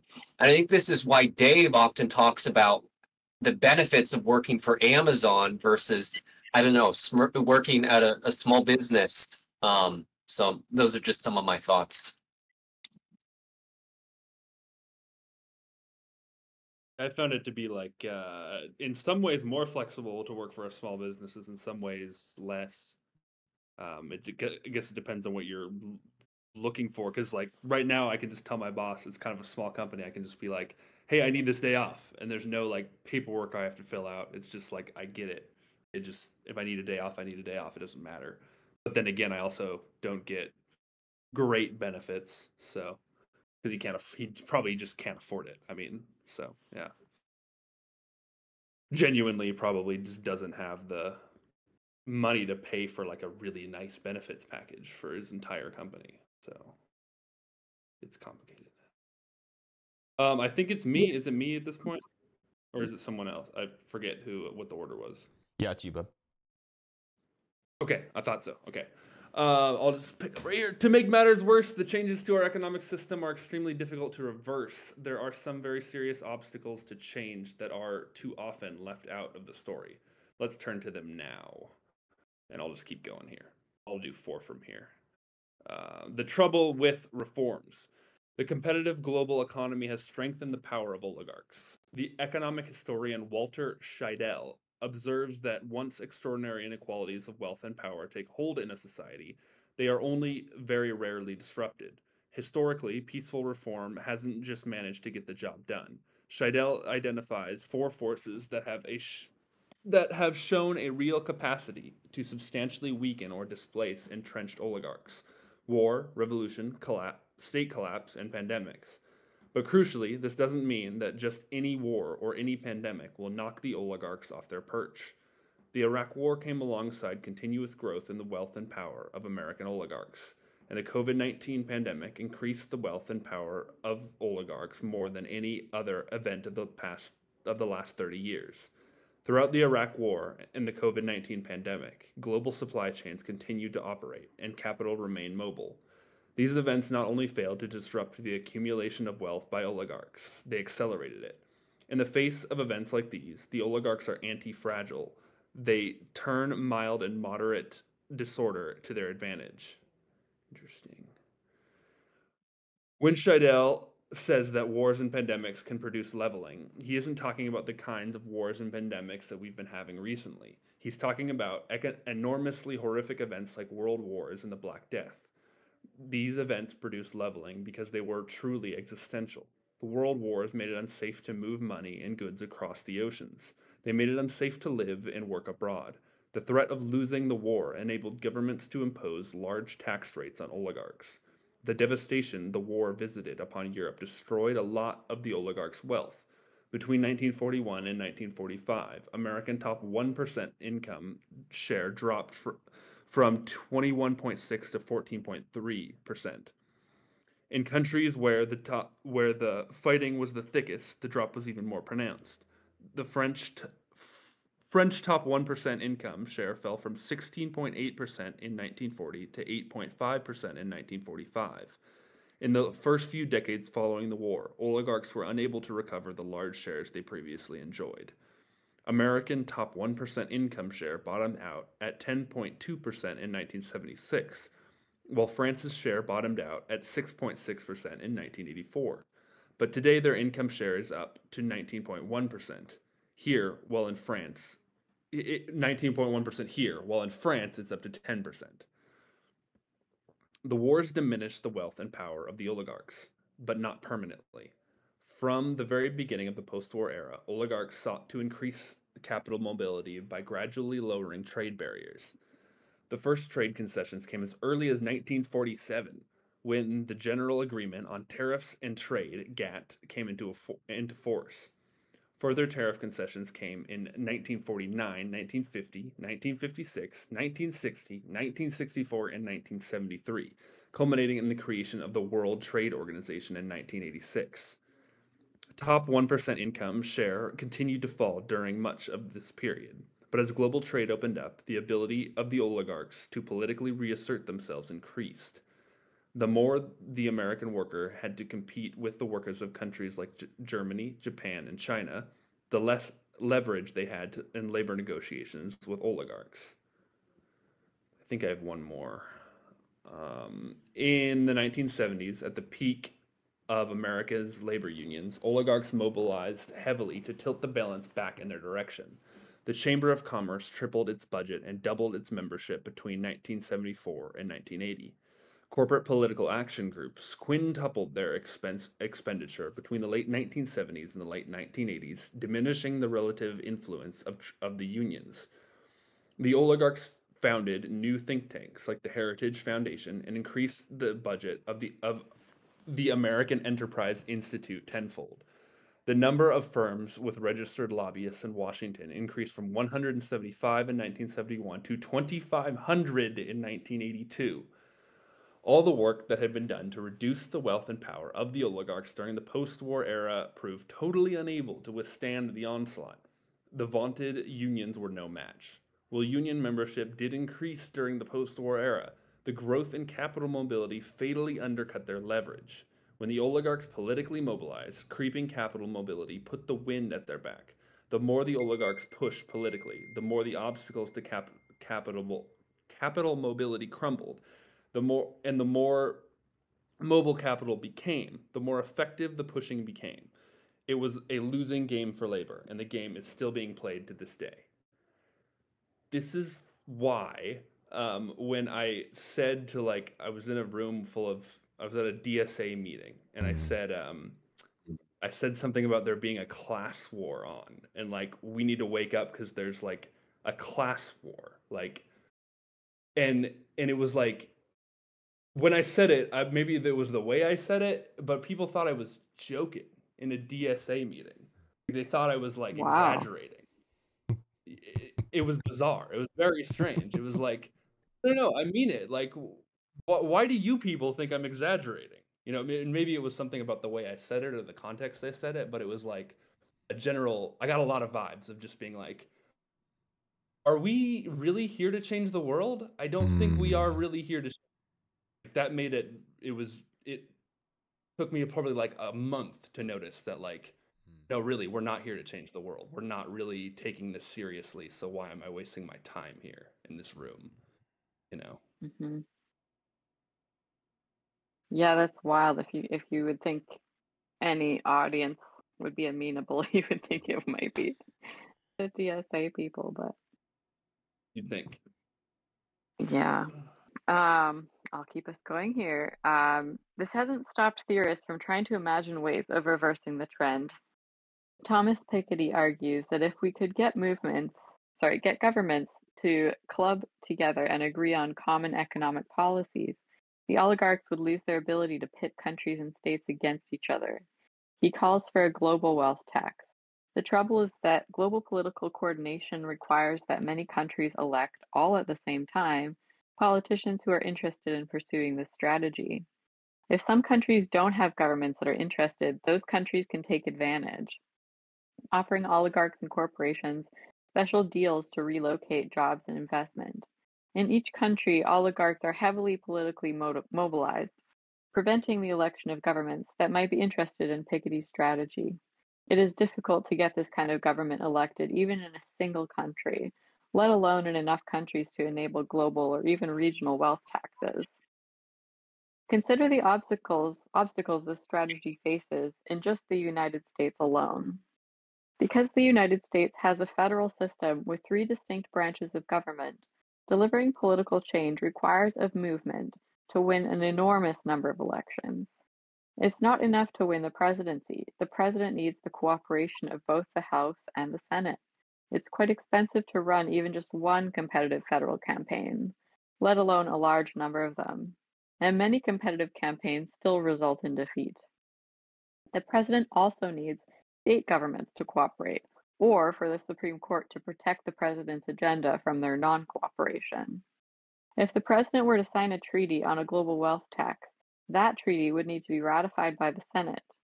If the global wealth tax were framed as a mere agreement to circumvent the Senate's right to scrutinize treaties, Congress could refuse to legislate in accordance with the agreement. The election of a new president more amenable to oligarchic interests could easily scupper any agreement that is not formalized as a treaty. Other countries know this, and even a well meaning president would have a difficult time convincing them that we would be able to keep our word. So, while Piketty's wealth tax would theoretically solve the problem, it lacks political feasibility. Piketty argues that if this kind of coordination proves impossible, governments might undermine capital mobility by returning to protectionist policies and imposing capital controls, limiting the ability of oligarchs to rapidly move money from place to place. But any presidential candidate, candidate who choreographs an interest in such policies could see an enormous amount of jobs and investment flee to tax havens and, quote, emerging markets, unquote, between their election and their inauguration. To impose capital controls without risking capital flight, the president would have to spring them on the oligarchs as a surprise without campaigning for them or establishing any democratic mandate for them. If the Mm. president imposed strict protectionist measures all at once, the protectionist policies would greatly disrupt supply chains, leading to inflation and recession. The president would be unlikely to politically survive, and the president's successor would probably reverse the measures. If the president imposed the protectionist measures gradually, oligarchs would have a chance to respond to the initial measures. They could push Congress to override the measures with legislation, or they could move money abroad before the measures kick in.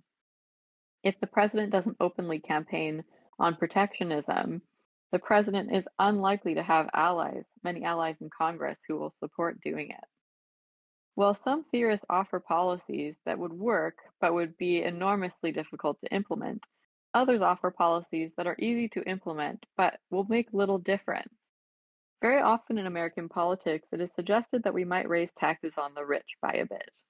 Modest tax hikes on the wealthy are plausible, but they just aren't up to the challenge.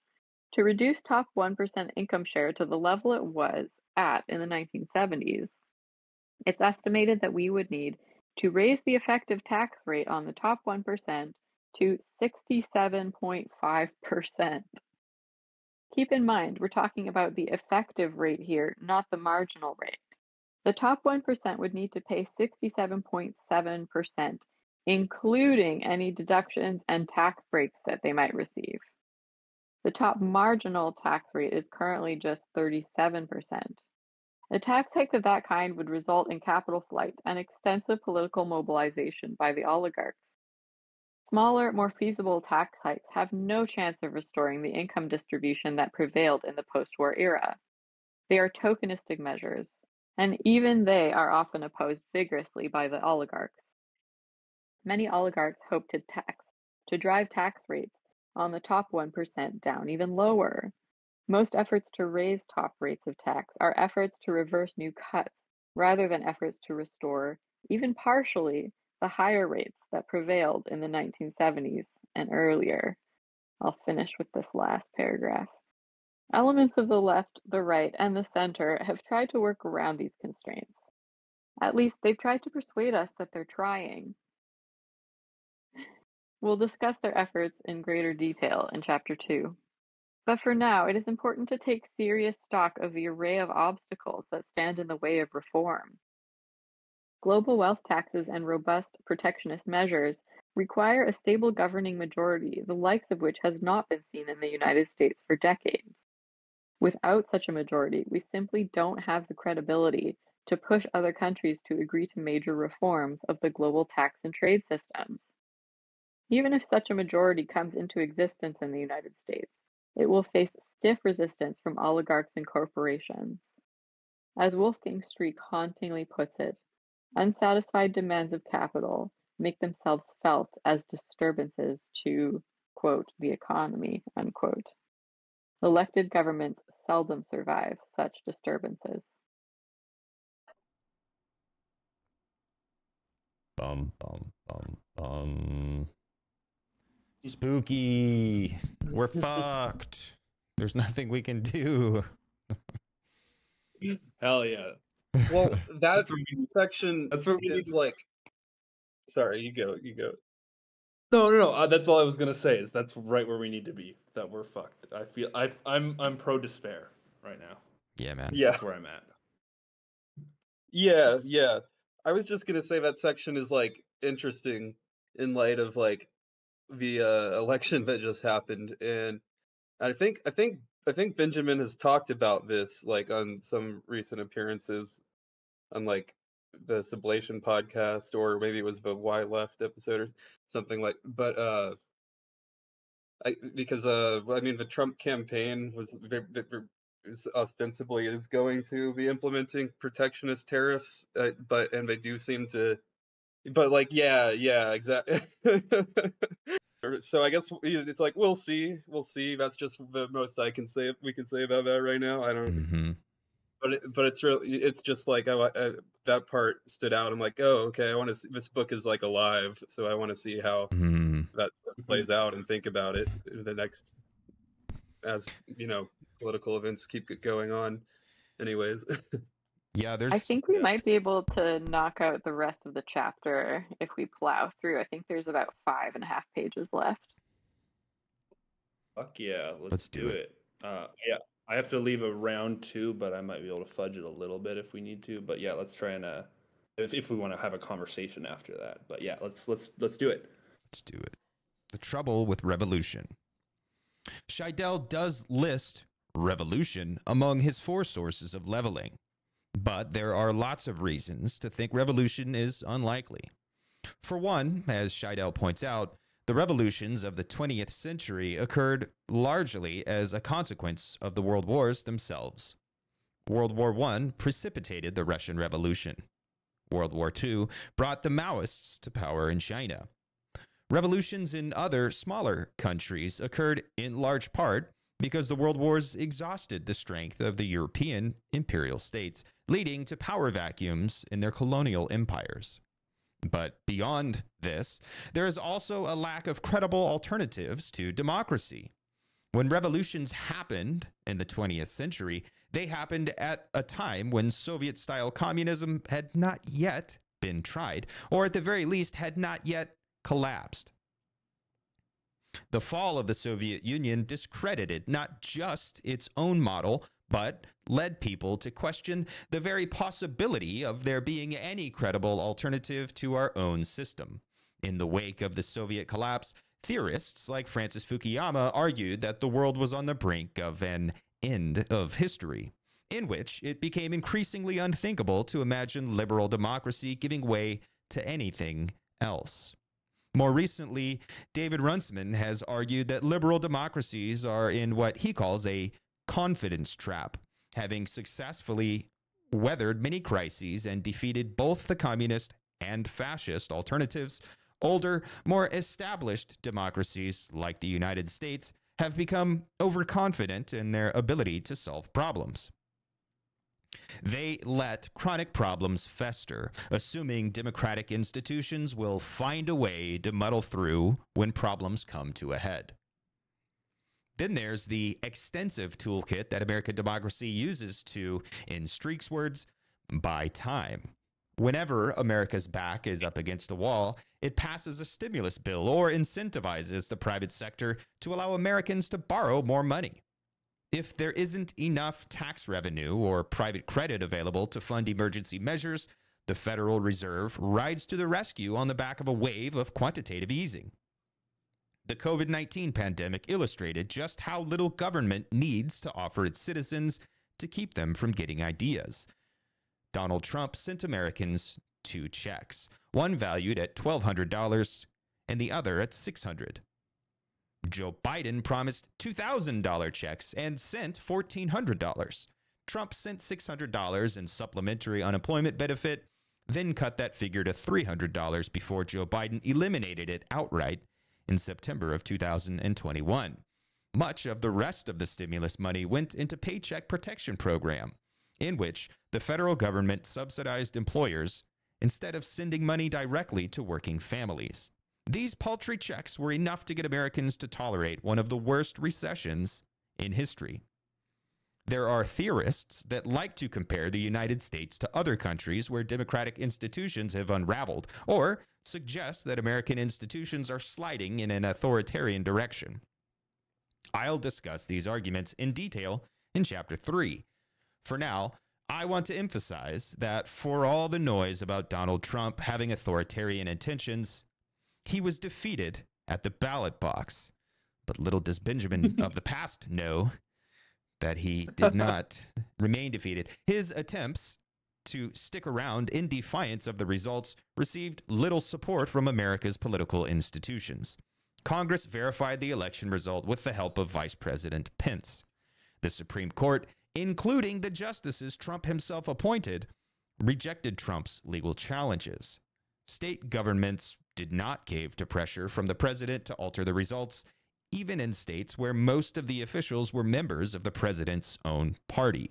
The military showed no willingness to help the president stay on.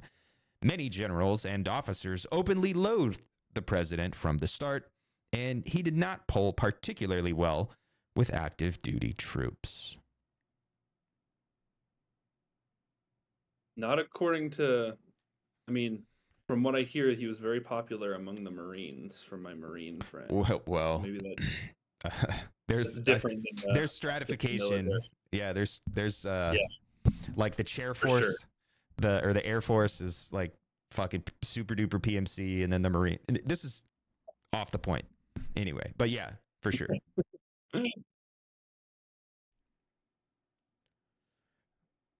Uh, who was next? Uh, Jord- Jordan.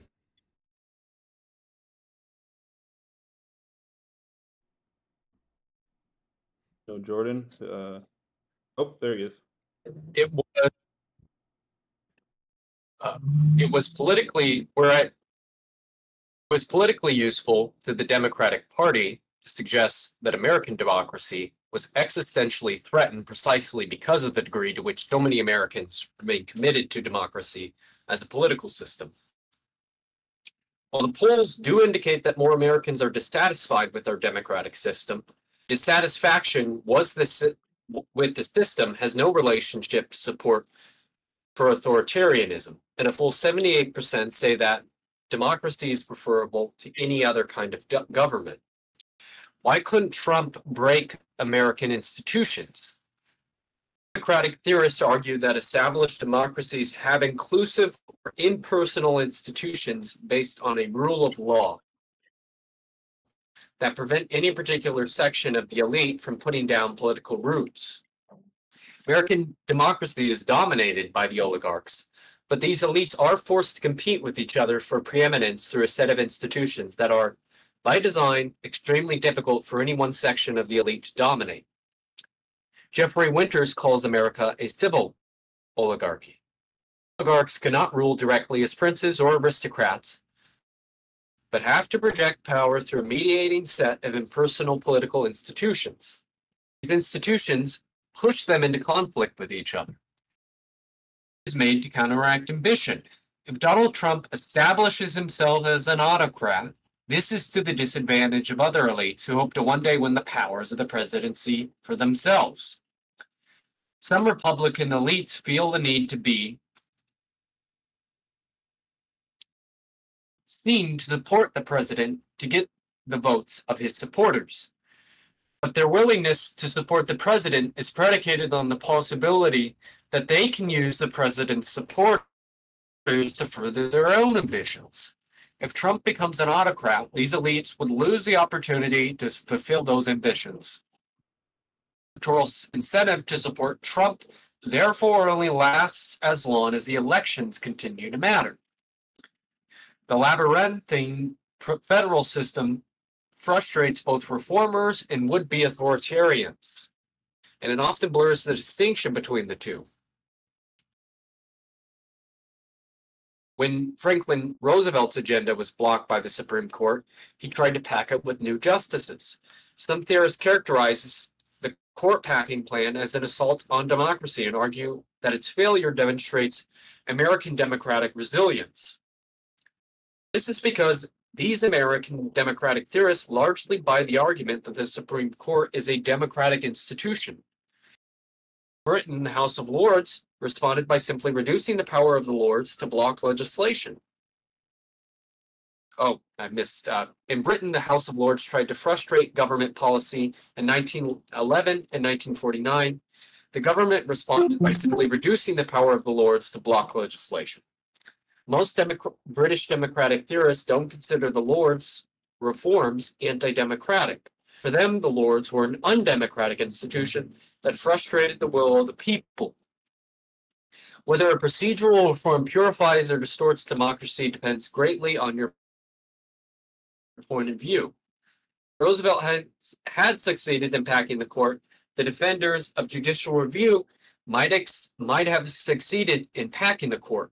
The defenders of judicial review might feel very differently about the court today. It might look to them the way the House of Lords looks to the British. Uh, but it didn't happen. Instead, when Roosevelt tried to pass his economic reforms, they were blocked by the court. When he tried to pack the court, he was blocked by members of his own party in Congress. Everywhere Roosevelt looked, there were more obstacles. Fukuyama calls this aspect of American democracy vetocracy. Our political institutions are defined more by what they can block by than by what they can accomplish.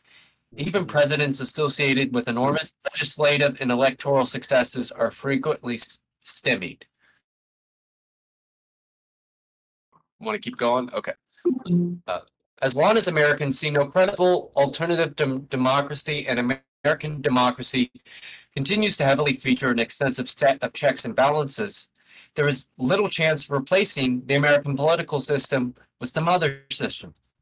To be sure, this doesn't preclude the possibility of American democratic procedures being gently reformed by changing the Supreme Court, creating new states, overhauling campaign finance, opening up voter access laws, and so on. But if oligarchs can block ordinary reforms that might threaten their wealth and power, they can just Oops.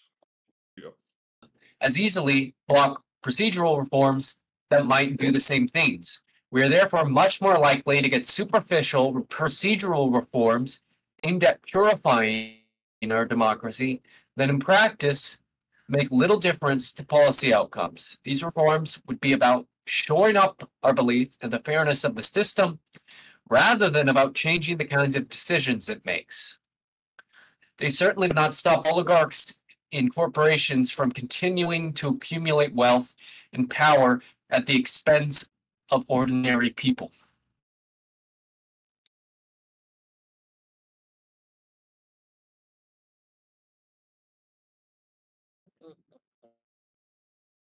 Go or Was it uh who was next? Spencer. Spencer, I think. Yeah, um, from the top, let's see. These obs- these obstacles lead Scheidel to conclude that it is impossible to rein in the powers of oligarchs. Reforms and revolutions won't work, and wars and plagues would cost us too much. He suggests we had better get used to this new world we're living in. If history is anything to go by, peaceful policy reform may well prove unequal to the growing challenges ahead. But what of the alternatives? All of us who prize ec- greater economic equality would do well to remember that, with the rarest of exceptions, it was only ever brought forth in sorrow. Be careful for what you wish for. Scheidel goes so far as to suggest that high economic inequality is a default condition of human civilization. But while the middle part of the 20th century may look like a blip to economic historians, many Americans today still remember a time when economic growth and technological change served many of our people, rather than just the wealthy few. In the 20th century, we became accustomed to a world where wages and living standards increased rapidly, a world where people could expect their children and grandchildren to live more stable and more prosperous lives. A person born in the 1920s saw enormous improvements in working conditions and living standards by the time they saw early middle age. Even a person born in the 1960s saw a marked increase with, enorm- with enormous technological change by the early 2000s.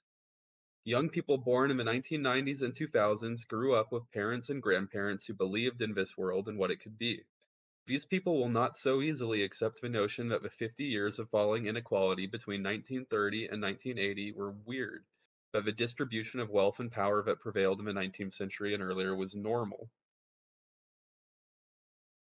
Great. It's not as if things are standing still either. The mobility of capital continues to increase, automation and technological development continue to weaken labor's negotiating position, and the gap between the oligarchs and the rest of us continues to grow larger and larger. How can we get used to a world that is becoming more vicious and more disappointing at such an alarming pace?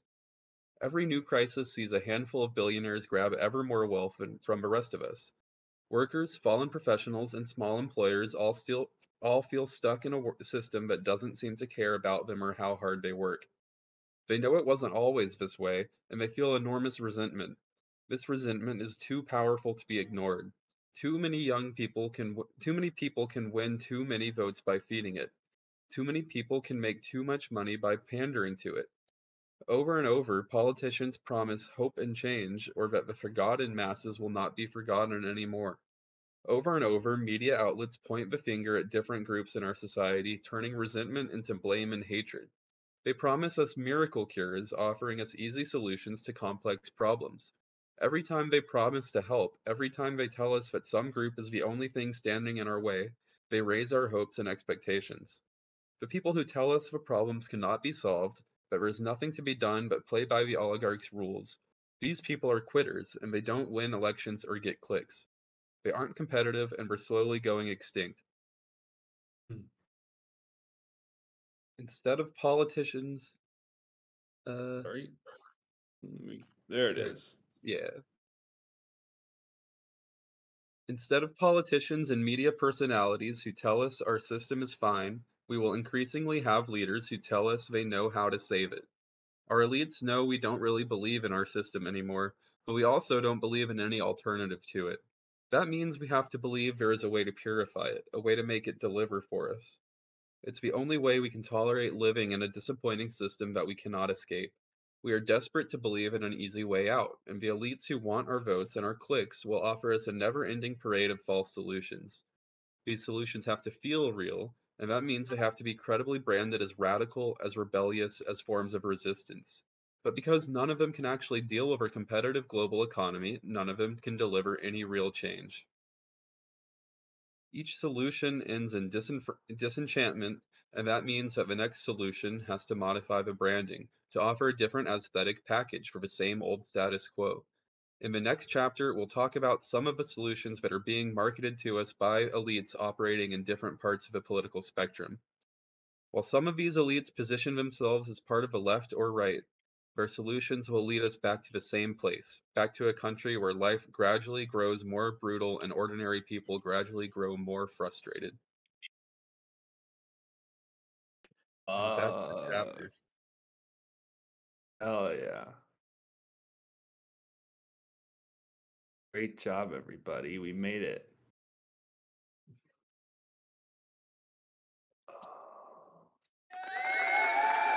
Just going back over some of that a little bit.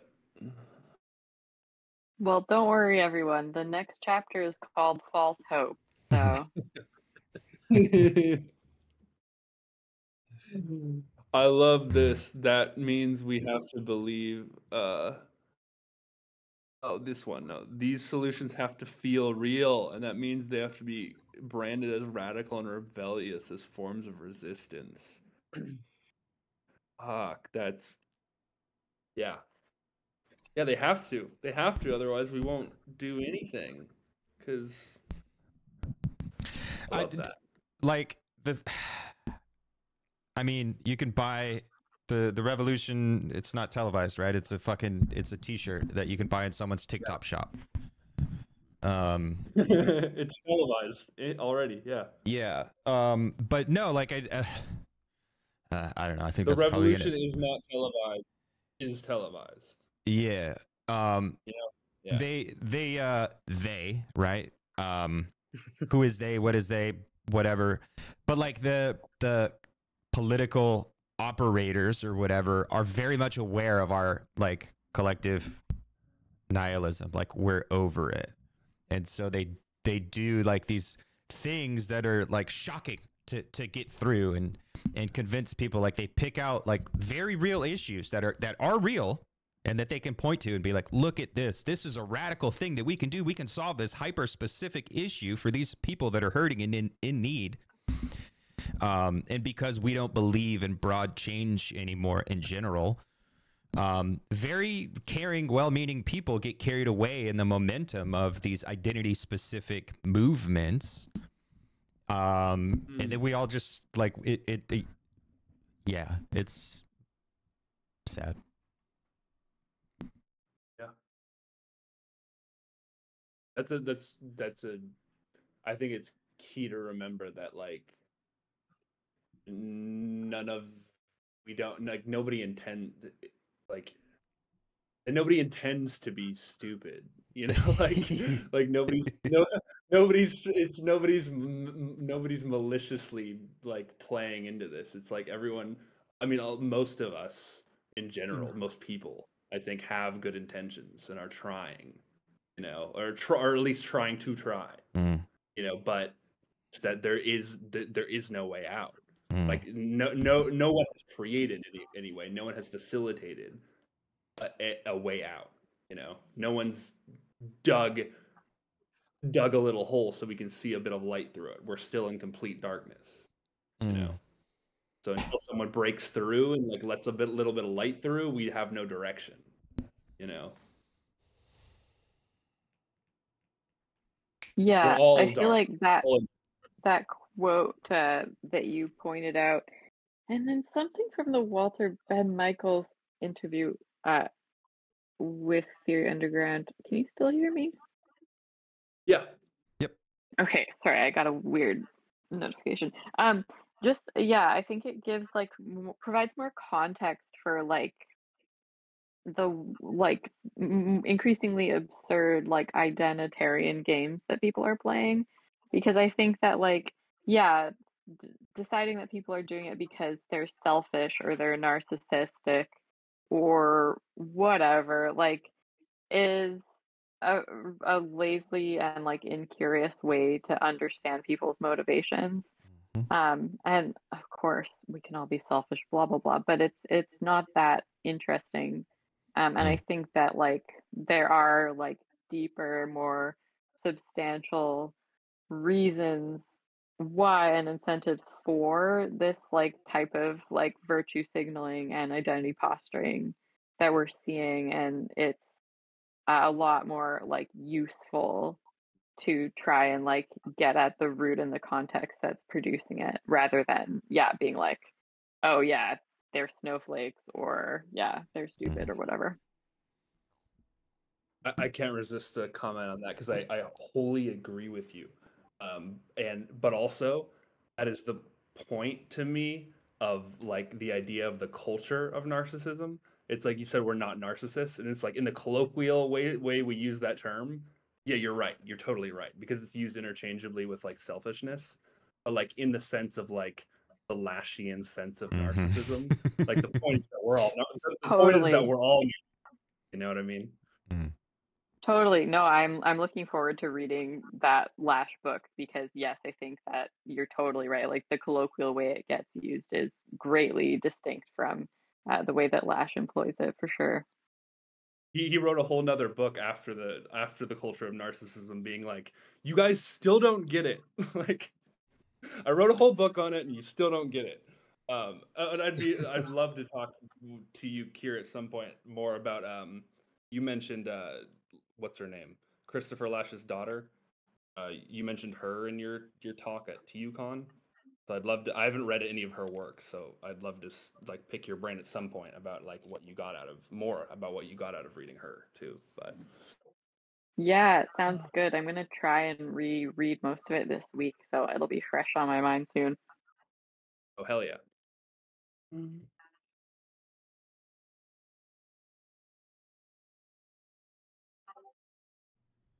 Well, on that anyone note, else have any uh closing thoughts? Or sh- Oh, I uh, I just had a quick comment about this paragraph where um, I was thinking about it in terms of uh, politicians who offer solutions. Um, I feel like Trump actually um, is is the politician who offers simple solutions uh, to intractable problems. I mean, that's what the the tariffs are. The idea that somehow we establish the tariffs, we're going to be able to bring back uh, you know, manufacturing like we had um, for neoliberalism. And I think to some extent, the Democrats know that that's not going to work. I think to some extent, they know the way is shut. And that's why they have to pretend like everything is fine. Right. And the Republicans, I think Donald Trump, um, I don't know. I- think perhaps they they think that something can be done to bring us back before neoliberalism um, there almost is a, a more hopefulness, perhaps even optimism there. And uh, yeah, I think Democrats know just like, yeah, i- i- there are no solutions. That's why we have, we have to pretend like everything is great. So that's just, that was just like what I, like rather than thinking of like revolutionary leftist solutions, I was thinking more of like what, you know, the Trumpian solution is. And yeah, I don't know. Hmm. I do wonder. I do wonder how many people believe in this solution, or how many people really are just kind of gleefully dancing off into the fucking raging bonfire that is the future. Like I, I, I think there are a lot of people who are like excited at the notion of tariffs. Um, and they're like, well, yeah, let me explain it to you. But I think there are more people who like we're all just kind of feeling this fucking pull toward the end of the fucking world. I don't think anybody, I don't think Trump voters believe Trump is the answer. I think Trump voters believe he's it's a salve. It's going to assuage this fucking nihilism and like boredom and despair that we all feel. Um, But I think it's some of both. yeah, it you're like- right. It is definitely yeah. Like when I've like my younger brother is like a big Trump guy recently, and but he's not. I don't think he's a typical like when you when people think of like he's more of like the kind of like online crypto. If I'm gonna try to stereotype him, which is like redu- obviously, but you know, but it's like that's not what I think. I think this is like a weird subsection of the right now, but it's kind of like the mere the, the the equivalent of like an, a leftist, where it's like. Yeah, it's this kind of gleeful, like libidinal thing, and they enjoy the online participation community mm-hmm. aspect. Yeah. And and but I don't but I don't think this is like what the majority of people are do are getting off on doing Mm. the and so like he'll talk about tariffs and like follow is like policies stuff like that but i don't i don't know how much he really understands any of it anyways and and i j- but i just i don't i don't know if this is what i don't think most people are really that tuned in or like get i don't know but i think i think there's definitely a lot of both and Mhm. and even in like within the same person it's both a lot of the time That's key. Well, if if Yeah. anyone, yeah. Oh, go ahead, Kier. I feel like a lot I don't know, I kind of feel like a lot of people like are unaware that they have some sort of like erotic attraction to like millenarianism and messianic Mm. stuff like because yeah i think you totally see it in this like idea from some christians in the us that the like society is falling and getting more and, and decaying more and more and blah blah blah and then that this strong man is is going to like save us from that but i absolutely like i just i think most anarchists are like sexually attracted to the apocalypse you know and they'll talk about it like it's like this like the words they're saying contradict like the glint in their eyes and like the excitement like there's a Yeah. jouissance for sure where it's like you're talking about like mass death and mm-hmm. the collapse of healthcare and education in the state and like you just want that so badly and you'll never admit it you know? Mm-hmm. Horny for the apocalypse. And I I think and uh, i yeah i think there's a milder version that many people in between um, are feeling as well. Sorry i'll stop there I I agree with a lot of this. I think it was more true of the first time Trump in the second election that Trump ran, but like I feel like this time like I really do think that it's inflation. And I think people are being Mm. practical in a way and pragmatic and they, they don't think that Trump I don't think most people who voted for Trump think that Trump is going to really like turn America back to prior to neoliberalism. I think that that was true the the first and second time around. The third time around, I think that it's just really like we just need to like fucking get the economic boot off our neck. We just need to get some breathing room. You know, we just need to get our heads above water and go back to like what it was a couple years ago. You know, and so like uh i think there's definitely an element to all of the like messianic stuff for sure but i think like i think a lot of people voted for trump just because they're like they're trying to be pragmatic they're trying to be practical you know and like it, it doesn't really make total sense if you think about it because like trump isn't he isn't doing anything differently with the fed. He's legally not allowed to change who's in charge of the fed and he's not trying to and so he's just and he's actually in favor of what the fed has been doing. And so he's like what is he really changing to help inflation? You know what i mean? Like he's not really changing anything. So it but it seemed like it seemed like the general logic was just like of of our general national logic for this election was like fuck it the shit isn't working let's do something else it seems like it sums up why to me to me why trump won you know fuck it I- this isn't fucking working let's do something different Mm. you know i don't know does anyone buy that or what Yeah, I mean, I definitely think that might be. I, I think there's like different there's different coalitions of people, obviously, and and w- even within again individuals or people have different motivating things that take over at different points, and and so I I feel like the kind of a way um, a big part of this book and what we've gotten some introduction to of with what um Benjamin's doing to like kind of give a taxonomy of the PMC, especially like the left-leaning PMC in academia and related like institutions, and how that like I, I- I want I want to see that from like um, on, the- on the side of how that works within the right wing too, or at least that feels really relevant right now, just because of I guess like recent political events. I feel like I don't I want to understand that better because I don't want to be too dismissive like or like I don't want to I don't want to misunderstand or like because I I just have impressions of all these people and and I think like there's like lots of different people with different level levels of understanding and different motivations taking over different points. So I, I just want yeah, I mean I want to try to think about all of this as as we keep reading the book and as events keep happening because I'm realizing I I really I don't understand how that like is work how that works in America in whatever political system. I I really yeah I don't know. All right, well, I've got to turn this computer over. Um, so I'm gonna have to call it uh here-ish. But uh this is great. And um I don't know if I'll we'll talk I'll post in the Discord when we're gonna do this again. I'm I don't think here is available next Saturday, but we might just start I don't know. We might just start doing it every Saturday or something. We'll figure it out. We'll figure it out in Yeah. the Discord. Yeah, hopefully we can get it recorded. And thank you for organizing this because I've wanted to read this, but I did not want to buy the- buy the book. If anyone, yeah, I'm sure everyone who's like looked at the price, you know.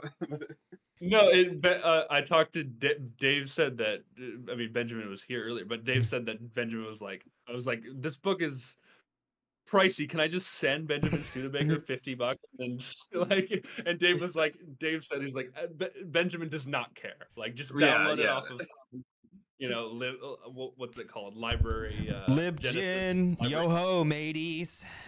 Uh, yeah. um, but of course, Alright. we we all always pay for books, uh, because we're good and we're not Yes. we are not radicals and we're not criminals, and we are worthy, deserving people.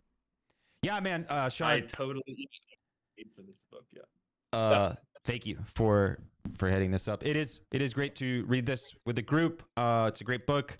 Um, thank you, thank everyone that came. I had a blast, guys. Thank you. yeah, thanks everyone. Have a good one. Bye, everyone. Thanks for coming. We'll, we'll let you know when, when it's happening again. Bye.